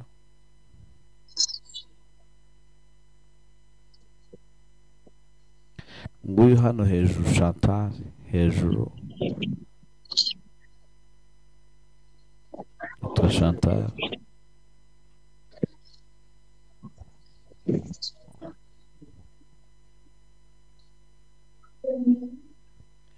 Yesu ashimwe umukozi w'imana nshimwe cyane amen. Eh, imana yambwiye ngo urimo uracumuzwa n'inzozi ziguteye ubwoba. Cyane mbega ufite ibitero eh, byo mu buryo bw'inzozi ndota inzozi mbi cyane Mm. Rero izo nzozi zaguteye ubwoba ndetse zisa n'iziguhagaritse umutima eh, kuko ntabwo ari inzozi zisanzwe ahubwo ni ibintu bakohera cyangwa se bagutumaho mu gihe eh, mu masaha yo mu ijoro. Eh, imana yambwiye ngo igiye kubyambura imbaraga kandi ikoresheje imbaraga z'ijambo. Hari igitero cyaguteraga n'ikimenyetso hari ukuntu warwaraga ibikanu ariko mbonye imana igukiza. Hari ukuntu ibikanu byawe ibikanu byawe harimo ibi bimeze nk'imisonga ukibaza ikintu cyabiteye kikakuyobera. Imana yambwiye ngo igiye kugukiza. Lomini foma anesike drone zalibayi mu gihe nari ndimo mpanura ku buzima bwawe kandi numvise ijwi ry'imana rimbwira ngo mu minsi cumi n'ine hari ikintu imana igiye gukora mu bijyanye n'akazi umaze igihe urimo wisengera n'umunsi wasenze uravuga ngo mana reka uyu mukozi wawe umutume ku bijyanye n'akazi kanjye reka uyu mukozi wawe umuntumeho ku bijyanye n'akazi kanjye imana yambwiye rero ngo akazi kawe kamaze eh, kamaze kuboneka. Kamaze kuboneka nk'uko wagasabaga nk'uko wagasengeraga imana yamaze guca inzira mu izina rya yesu kirisito rihambaye. Data urakoze ko umujakazi wamugiriye neza amavuta waramugose imbaraga zawe ziramutwikiriye mu izina rikomeye rya yesu kirisito haleluya imana iguha umugisha masanta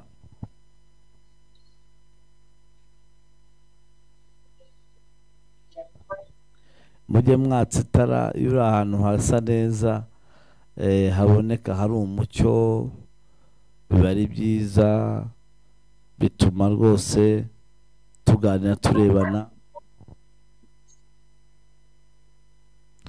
Reka nsengere umuntu bita eh, losike de variance de taille meleke sutalama kia anoziberifo mu izina rya yesu reka nsengere uyu muntu bita vovo. Vovo vovo.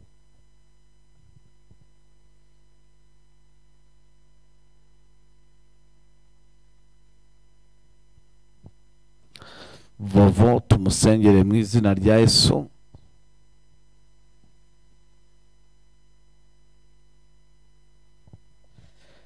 yesu vovo ndagira ngo dusengane muri uyu mwanya mu izina rikomeye rya yesu kirisito imana yambwiye ngo uburwayi bw'umutwe. Ndangije ndabwirwa ngo eh, uyu mugoroba imana igiye kuvanaho igitero. Hari ibitero ugira biguteza kurwara eh, cyangwa se eh, kurwara umutwe ukomeye cyane. Uyu mutwe hari n'ubwo unywa imiti ariko ntukiri imana yambwiye ko wari umutwe wi- wi- wi- w'ibicaniro ariko ibyo bicaniro biguteza kurwara umutwe. Imana irimo irabyambura imbaraga. Muri uyu mwanya uko tugenda dusenga mu izina rya yesu kirisito rihambaye. Ndasenze ngo imbaraga z'imana zibohora zinjiye mu buzima bwawe. Lobeni fole lesiyanse de kia anomene fo. Drone zaliba ya kia anozalibanda ya foskere variance. Ndimo ndasenga nkumva hari imbaraga z'imana. Ziciye imigozi kandi zinanije ibyarwanyaga umutwe wawe. Uyu mwanya urakira gukira urakira kubohoka mu izina rya yesu kirisito w'i nazareti. Data ndagushimye ko umugiriye neza. Ndagushimye ko umujakazi wawe umubohoye. Haleluya yesu ashimwe. Shyiraho shyiraho ijwi. Yesu ashimwe. Amen. Yego urakurikirana amasengesho uri hehe?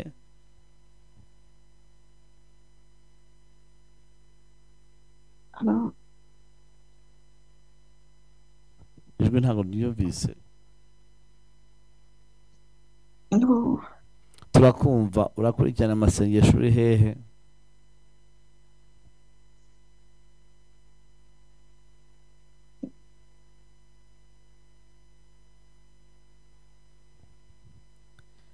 Ya netiwaka yamubanye mbi. Ariko imana irimo iragukiza. Hari umumarayika w'umuganga uhagaze hejuru yawe uri kugukiza. Arimo arakuvura mu buryo bw'imbaraga ibitero by'umurangi byambuwe imbaraga ku buzima bwawe. Ikimenyetso cy'imbaraga z'uwiteka kikujeho amavuta abohora. Aje ku buzima bwawe muri uyu mwanya aya masaha urinjira mu nsinzi urinjira mu mavuta adasanzwe lomele kita ya zomini fo drone zabini kia aneside vayanse e, imana irambwira ngo igukijije uburwayi wari ufite bw'ibitero kandi imana igiye kugukiza n'uburwayi bw'igifu bwari bumaze igihe ku buzima bwawe wajyaga wibaza ikintu eh, cyakubayeho bikakuyobera kuko ujya unywa eh, imiti kugira ngo ukire uburwayi bw'igifu ariko ugakomeza kumva urwaye uremerewe imana yambwiye ngo iragukijije eh, kandi umutwe wawe uburyo umeze ujya kumva ukumva umutwe urashyushye. Hano hejuru ku gahanga ukagira ngo hari ikintu wikoreye ukumva umutwe urashyushye cyane umutwe ukakurya cyane. Eh, imana yambwiye ko igiye kugukiza muri uyu mugoroba. Kandi ishyize iherezo ku byaguteraga byose. Mu izina rikomeye rya yesu lokete lemasi ya kiya andoveniyanse nuba uri hafi uzasengera amazi y'umugisha cyangwa uzaze uyatware uyamene ahantu utuye. Hari igicaniro cy'umwuka eh, kihagaragara ku isaha y'isaha y'isaa munani n'igice z'ijoro ikwataka ariko mbonye imana ibyambuye imbaraga mu izina rikomeye rya yesu. Amen. Amen. Yesu aguhe umugisha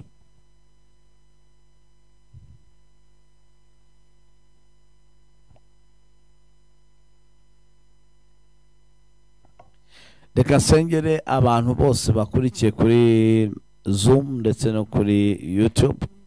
Buziye gutya ibiganza mbasengere. Ndasengeye buri muntu wese mwame uri kuri kino gicaniro. Ndasenze ngo amavuta wamuzeho cyane imbaraga zawe zimutwikire cyane. Reka umwuka uriganya reka umwuka unaniza uve ku buzima bwe. Ndasana igicaniro cye n'uwiteka. Ndasana amavuta y'uwiteka ngo amuzeho. Nohereje imbaraga z'umuriro. Nohereje amavuta akiza mu mubiri we mu buzima bwe. Robara sika paraya zoliya angolo meniya sedekire fo. Ndasenze ngo imbaraga z'imana zikwambare nk'uko umwambaro wambara umuntu.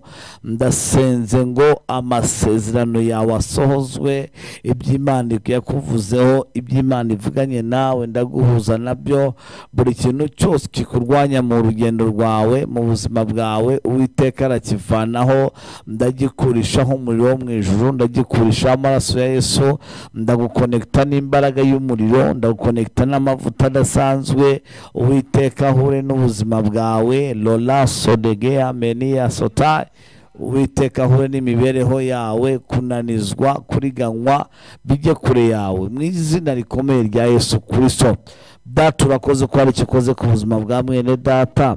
Urakoze ko umwambitse amavuta akomeye. Urakoze ko umwambukije. Mu izina rya yesu haleluya.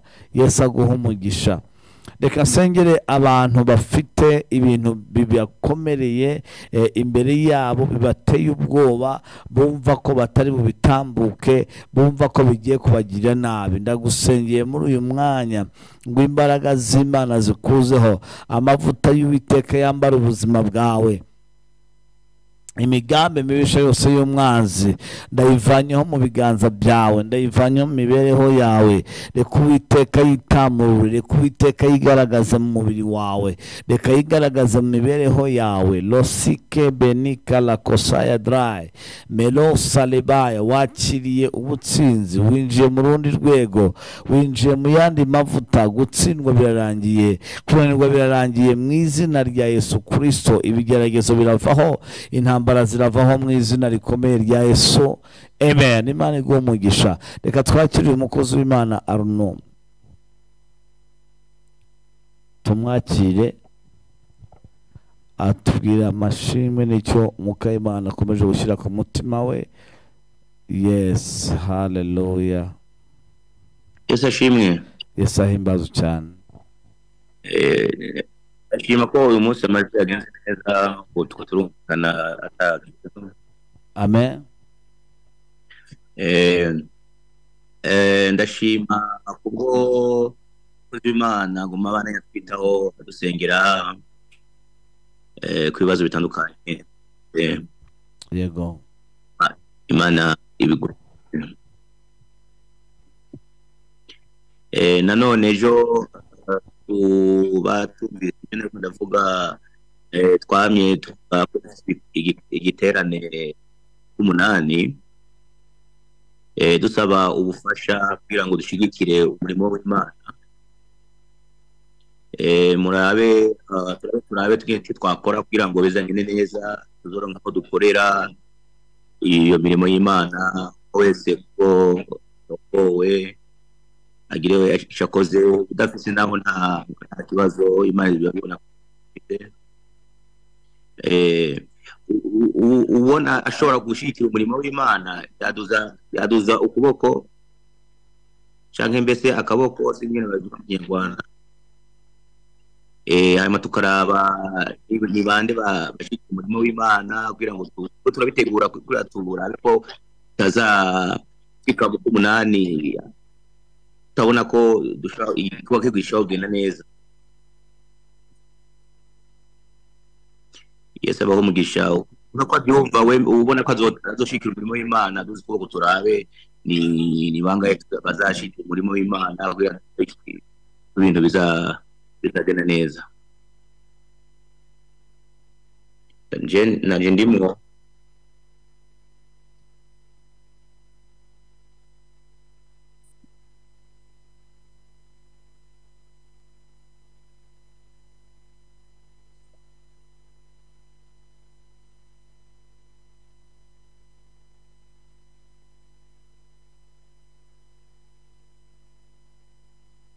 dushigikira umurimo w'imana cyane Eh, umukozi w'imana turabira twebwe mufite leta yose turumva nka hari hari abo tutabona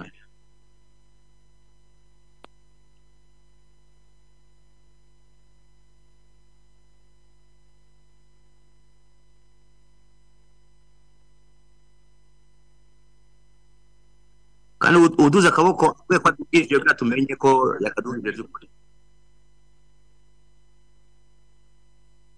Muze muramuha umurongo avuga ati ndakirewe ndemeye ko gaji umurimo w'imana.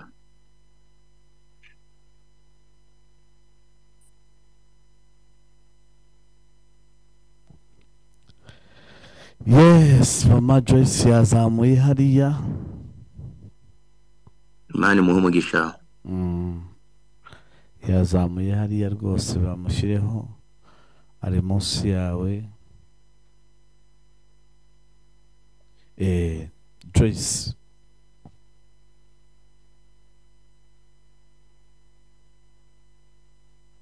gushigikira umurimo w'imana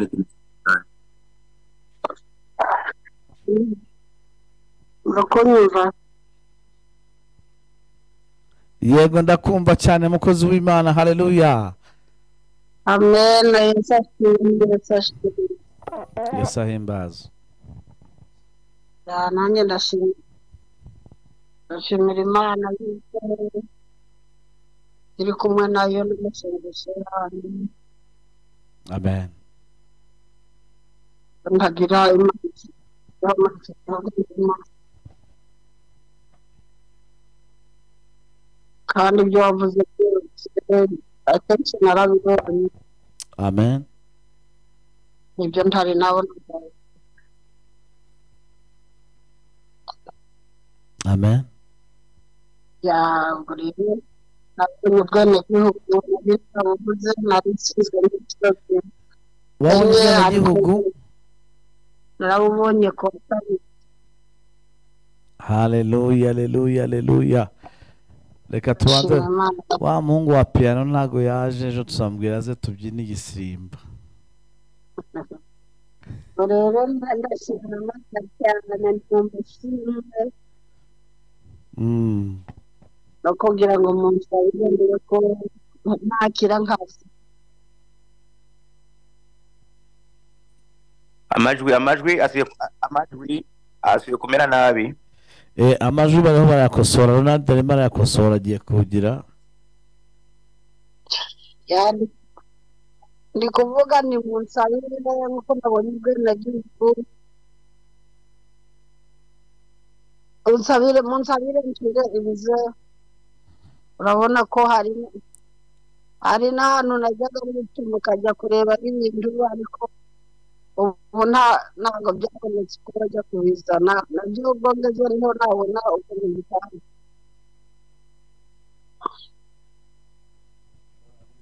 amajwi amajwi nta kintu na kimwe tuba turumva. Abajejwe ubuhinga babikosora.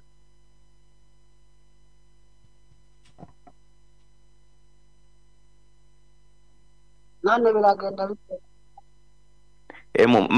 Mama Joyce murindire gatonya? Beko barabika- beko barabikora neza kugira ngo tu- tubumve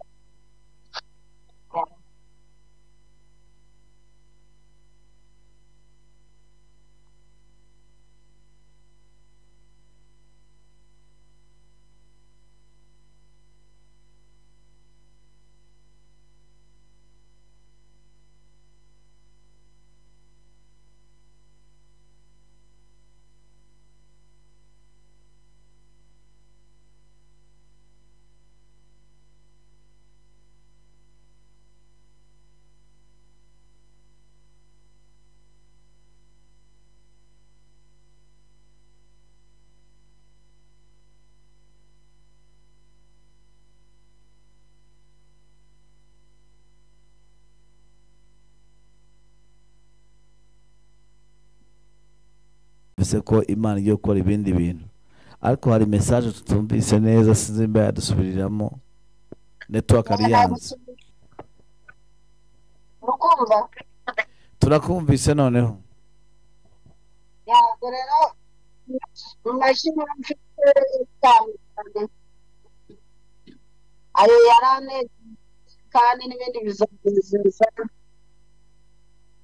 ariko mfite ikintu cyazitiwe ahantu cya cumi ubu ngo ngigitanga kugenda nagerayo ndasaba rero ngo boho kugira ngo icya cumi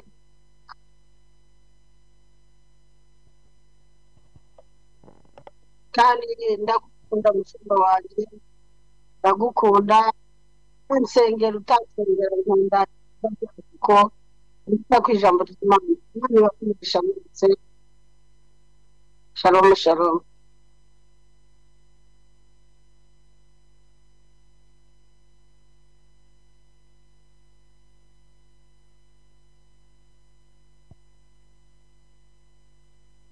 alo mumbi yes reka dukomeze mama joy imana kuba waronse turashima imana cyane ko wowe waronse bwene igihugu. Nu- ni ubwa hehe se? Ni bwa amerika canada hehe? Mm. nubwo muri amerika. Yandi muri Texas eh eh urabe urabe utore bedeni rero.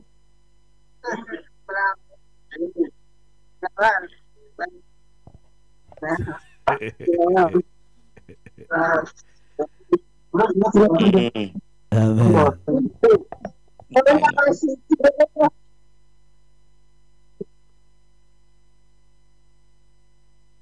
amen eh uyu uyu munsi amajwi yaze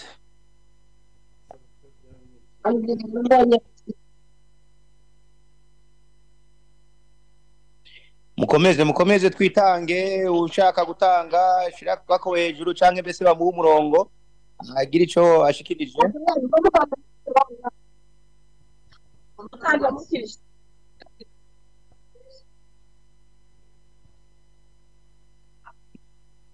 Muko muravyumva mukozi w'imana? Yego turabyumva nubwo bigenda bicikamo ariko turabyumvamo.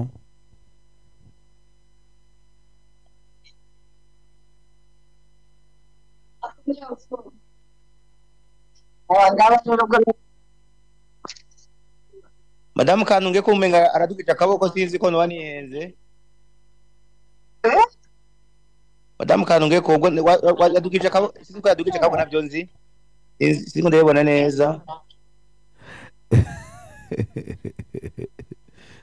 Telefone yanjye na yo nyene ibibazo. Tuba turakumva neza. Eh nari nabonye umenga yadugije akaboko sinzi. Reka kumuha umurongo nawe nyene.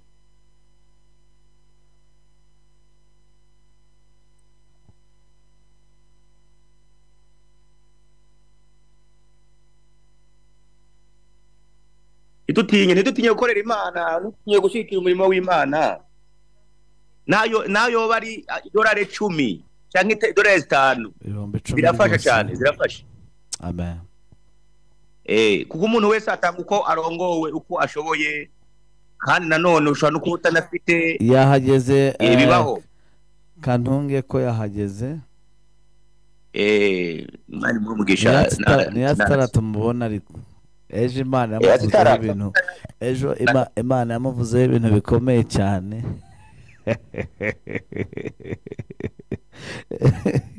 ntacana itara tumubone. Ahantu ari hari umwijima.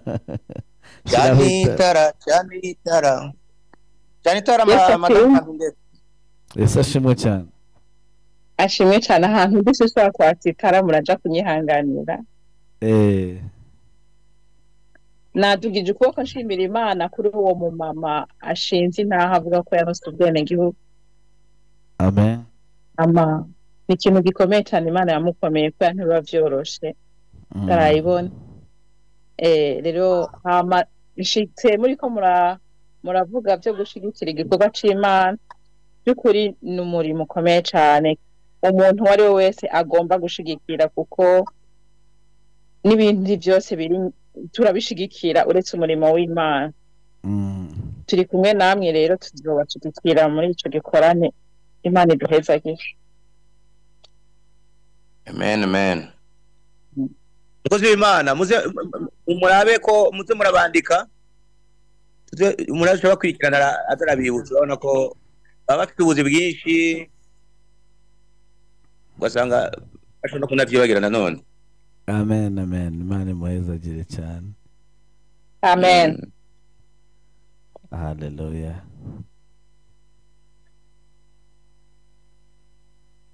Ah, karibuni Dia- Di- Diana, Diana. Eh, mu muno- mwamuhe umurongo. yego Eh,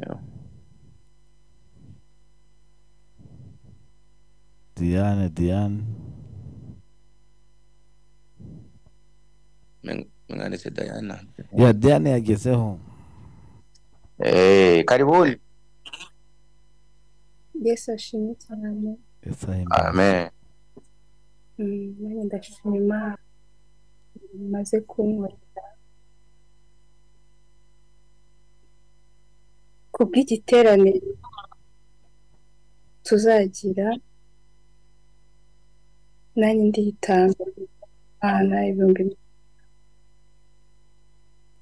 ibihumbi mirongo itanu ego yes dukomere imana amashyi ku bwa diane Eh, muze murabandika murabandika mukozi w'Imana. Muze murabandika ntibi- ntibizatuvange. cyane rwose imana imuha umugisha mu gihe mu gihe yitanze amadolari mirongo itanu numvise ko eh, hari ikintu imana igiye gukora mu bijyanye n'ubucuruzi bwe kandi eh, nzakongeraho andi mirongo itanu aba amadolari ijana numvise umwuka binyobora abe amadolari ijana. Sandolari ndasenze kugira ngo ubuntu bw'imana buku the performance star bukore ku buzima bwawe mu izina rya yesu. Ah, ndagira ngo usenge iminsi amasengesho y'iminsi ibiri. Hari ikintu imana igiye gukora nabonaga eh, marayika aguhagurutsa byihuse ahantu wari wicaye eh, kandi yaguhagurutsaga mbona usa n'utiteguye. Ndabwiwe ngo hari ubuhamya buremereye imana igiye kugutunguza kandi uzajya utekereza ibyo imana igukoreye ndetse n'amarira aze ku maso. Mu izina rya yesu turakoze ko umujakazi wamugiriye neza. Izina ryawe yesu rishyirwe hejuru. Amen. Amen amen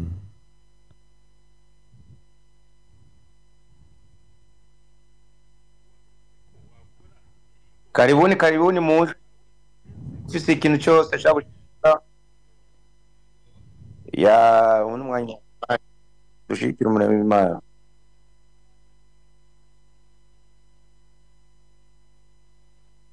kandi n'utafise ashobora kuvuga ati ndemeye ko ngiye gufata iminsi ibiri nsenga ndabasengera ko bizagenda neza igiterane kizagenda neza imana izakije imbere ni- niyo ni interane ikomeye abari ngaha mu rwanda nabo bakavuga ati nditanze kuzaza kuririmba mfasha abaririmbyi. Canke protokole ibintu nk'ibyo.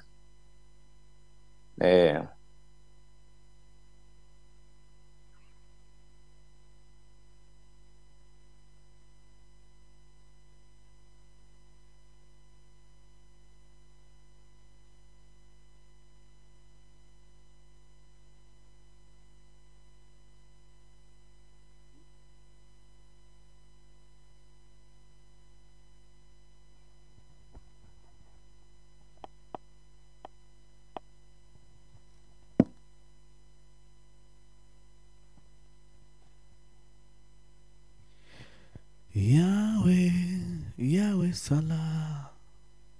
Yahweh sala lolenge nayo sala. Mana Luzaka boko, muzaka boko ushaka ushaka. Mana imbazwa mana yanje. Mana mana imbazwa. Abatariya abakwiye ko video basubizeho kugira ngo tubone yuko ba ba- bafite gushika mu murimo w'Imana duce tubona mana yanjye. Mana, mana, mana himbazwa mana yanjye. Mana, mana himbazwa, mana himbazwa mana yanjye. Eh, hari uwundi yanditse message sinzi ko hari uwanditse muri Mark- magana atatu. Igiswahili? Kirandoka. Batugarurire hano comments. Hari uwanditse muri comment. Murebe neza. Shalom shalom papa. Eh, na najitoa tuwasa saa koronera kwa ajili ya watoto wangu. Atatu ya macron tunamwombea baraka. Mwa- mwamwanditse yego. None turuwasa na aya turuwasa ni aya presize ni ya manyarwanda ni ya machina ni ya madolari ufata na yo ujue na- ni na yo muri swede na yo muri swede aya ngaya swedi bahita gutera ama na yo muri swede Sa- oh bayita ama ero macron. Ero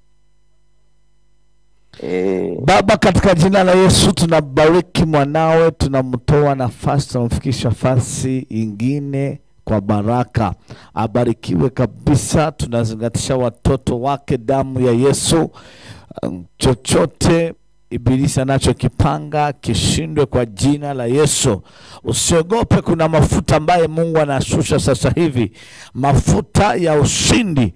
Oh, rikapa sola libanda ya sia asante kutendea mwanawe muujiza. Igitangazo uracyakiriye igitangazo uracyakiriye igitangazo uracyakiriye hari inyenyeri mbonye yaka ku mwana wawe uwo nguwo uvuze ko agiye gushyigikira umurimo w'imana n'iryo turo ku bwe icyari kumunaniza kivuye ku buzima bwe indwara ivuyeho mu izina rya yesu data urakoze kugize neza. Amen. Hari uwundi yari yanditse Eric Shumbusho. Antoinette. kaza mwabyanditse hari undi wit- witwa antoinette antoinette ashyizeho Eh, mirongo itanu. Haleluya Imana imuhe umugisha nawe nyene musubiriza akuye mirongo itanu eh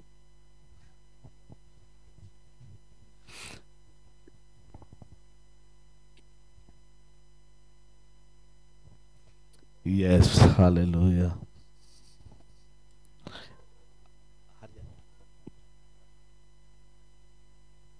pasita aruno yatanze magana abiri amadolari magana abiri. Reka dushime imana. Ndagushimiye mwami kubw'umukozi wawe.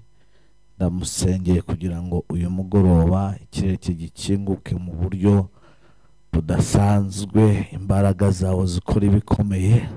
Hari marayika mbonye mu nzu iwawe kandi mbonye marayika yoherejwe none ahangaha imana irambwira ngo hari ubutabazi buje bwihuse kandi ngo hari ubundi buntu bw'imbaraga zidasanzwe imana irekuye muri famiye yawe. Mu izina rikomeye rya yesu kirisito data urakoze kugirira neza umukozi wawe urakoze ko umuremera ubuhamya budasanzwe. Amen.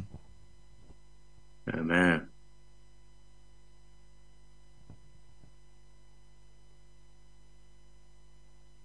Karibu karibu n'abandi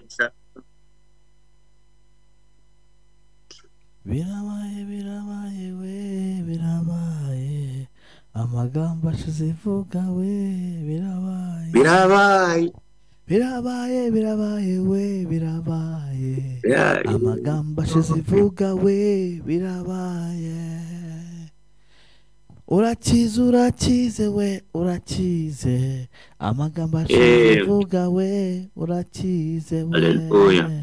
Madamu ah, mama antoinette yashyize akaboko hejuru mu murongo.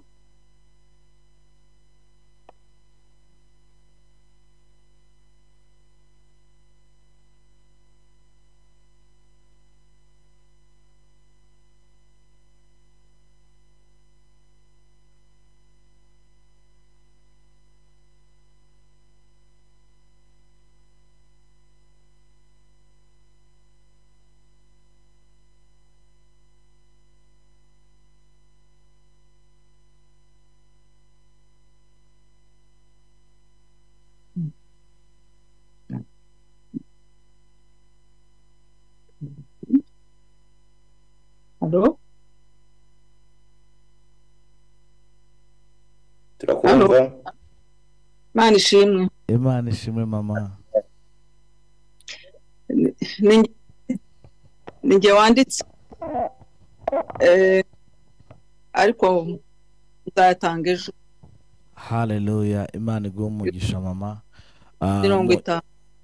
mu gihe wari mu gihe wari urimo uvugana n'umwuka wera kugira ngo ushyigikire kino giterane gikomeye kigiye kuba ku itariki ebyiri z'ukwezi kwa munani numvise imana imbwira ngo igiye kugarura impano yawe cyangwa se ingabire yo kurota ibintu bikaba. Ibintu rose biraba. Kandi imana yambwiye ngo ikongereye imyaka yo kubaho. Tebani siya angolo staya fomeni enesiya e, hari abantu babiri imana igiye kuzana mu buzima bwawe. Kandi bano belas ekite varia lokeni mayansi dekia drone enesita vani estayi hari abantu b'umugisha imana izanye mu buzima bwawe kandi bano bantu bagiye gutuma uhezagirwa cyane kuko imana igutwaye mu rwego rw'ubuhamya buremereye mu izina rikomeye rya yesu. Da turakoze ko umujakazi wamugiriye neza. Izina ryawe rishyirwe hejuru. Amen. Amen. yesu aguha umugisha god bless you.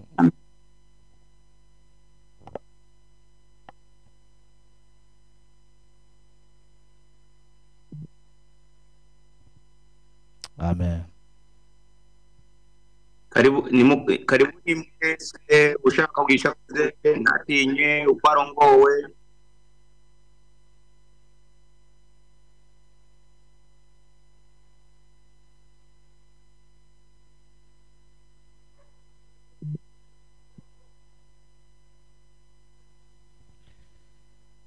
amwemeza undi nshuti ye ubonize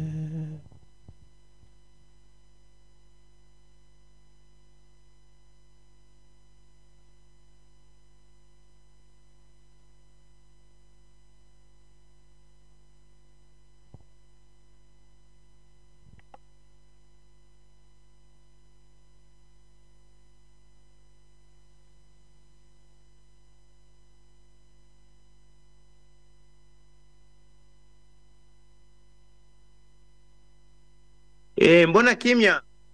Karibuni muuze muuze kumrembo Imana.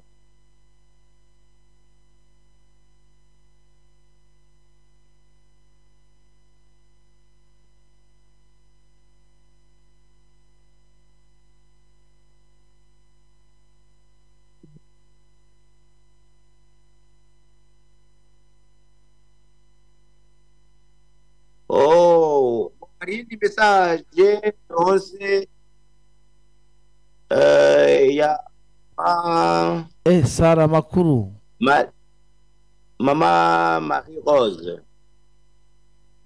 Yazamuye ye ye- yemeye bamwita bishop. gutanga ijana y'abanya- y'amadolari y'abanyamerika mama marie rose avuze ngo iki? Avuze ngo nzata nzashikira umurimo w'imana rwose.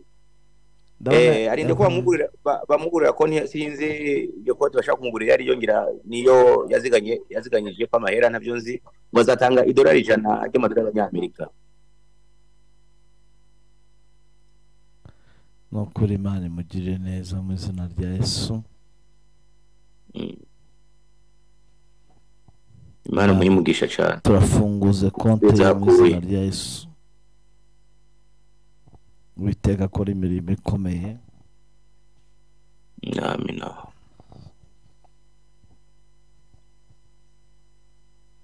hari ubundi karinjira muganzi byamugoye. Karakonekitinga O- okay.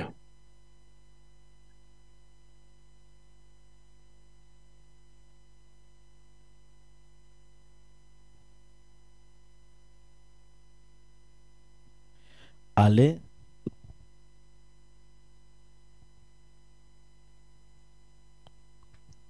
shyiraho ale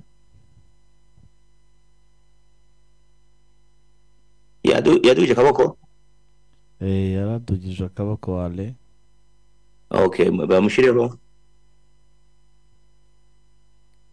Ya- ya- ahise yandika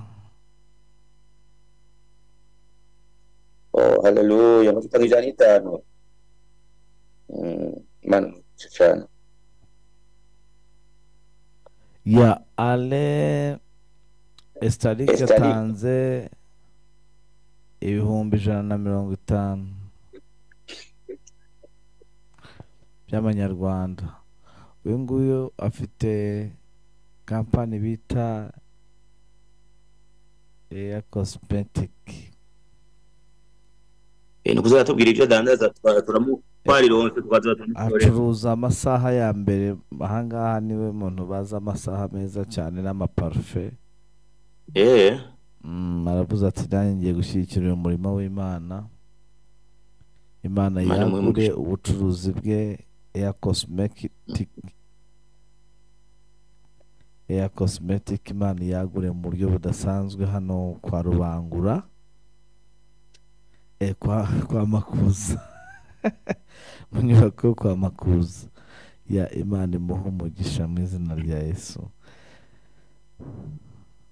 ndumva twasenga rero dusoza. Sibyo mukozi w'imana. Yeah yeah.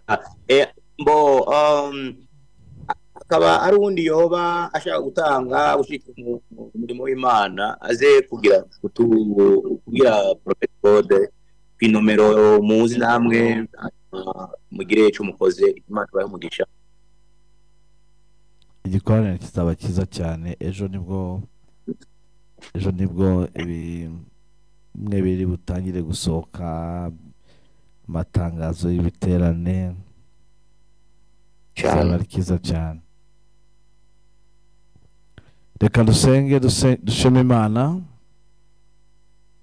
Data turagushimye ku bw'uyu mwanya mwiza uduhaye utarigeze kubaho kandi umwanya w'ubuntu budasanzwe. Ah, dusengeye amasezerano y'ibyo wavuganye na bene data mu buryo ndetse n'ubundi mu mwuka wabo eh, ndetse no mu buzima bwabo. Reka umwuka w'imana bazamure ahindure ubuzima bwabo bushya. Ahindure imibereho yabo babe konegite n'imbaraga idasanzwe babe konegite n'imbaraga y'ubumana data ndagushimye ko ubageza mu butsinzi ndagushimye ko ubageza mu buhamya budasanzwe. Ikintu cyose umwanzi yakoresha kubananiza uwiteka kivaneho mu izina rya yesu kirisito reka uyu mugoroba uwiteka akora imirimo ndetse n'ibitangaza. Reka uyu mugoroba mwami. Ijambo riravuga ngo buri masaha ya nimugoroba ngo uwiteka ajyaga agenderera adamu na eva mu mafu ya nimugoroba. Ndasengeye bene data ngo ubagenderere muri uyu mwanya aho aho wageze indwara zirakizira aho wageze abarozi baratsindwa aho wageze karande n'abadayimoni bamburwa imbaraga turahamagara icyubahiro cy'imana turazamura ibendera ryawe kirisito turazamura amavuta yawe iyo uvuze biraba iyo utegetse birakomera turamenagura buri kintu cyose kidaturuka ku mana buri muzimu wese tumwambuye imbaraga buri murozi tumwambuye imbaraga ikirwanya kumenya imana tukivanyeho reka uwo tubanye wese kuri kino gicaniro abone umugisha ahure n'imana uyu munsi wa cumi na karindwi w'amasengesho data imitima yacu turakuramya erega niyo turimo dushyigikira umurimo w'imana. Ni kimwe mu bikorwa byo kuramya imana. Ni kimwe mu bikorwa byo gushima imana. Ni kimwe mu bikorwa byo kuvuga ubutumwa bwiza bwa yesu kirisito haleluya kandi ijambo riravuga ngo uha umuhanuzi agacuma k'amazi ko ari umuhanuzi. Azahabwa ingororano y'abahanuzi. Ndasabye ubutsinzi ndasabye ubuhamya. Ndananije imikasiro. Ibyananizaga ibyishimo by'abantu n'ubutunzi bwabo ndabivanyeho. Ibirwanya marriage ndabivanyeho. Ibirwanya ibyishimo ndabivanyeho. Buri wese ahabwe umugisha. Mu izina rya yesu amen. Imana y'amahoro iwampera umugisha. Reka twongere mu kanya muri twibature kuri youtube live. Tugiye gusengana isengesho rya twibature. Eh, ahandi tuzongera ejo nimugoroba eh, tuzatangira kare. Imana ibaha umugisha.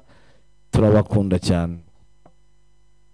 Urakoze cyane mukozi w'imana runo uri mu mavuta nehemiya amavuta yo kubaka eh, kubaka ubwami imana iguha umugisha imana ikubake imana ikubake iguha imigisha amen.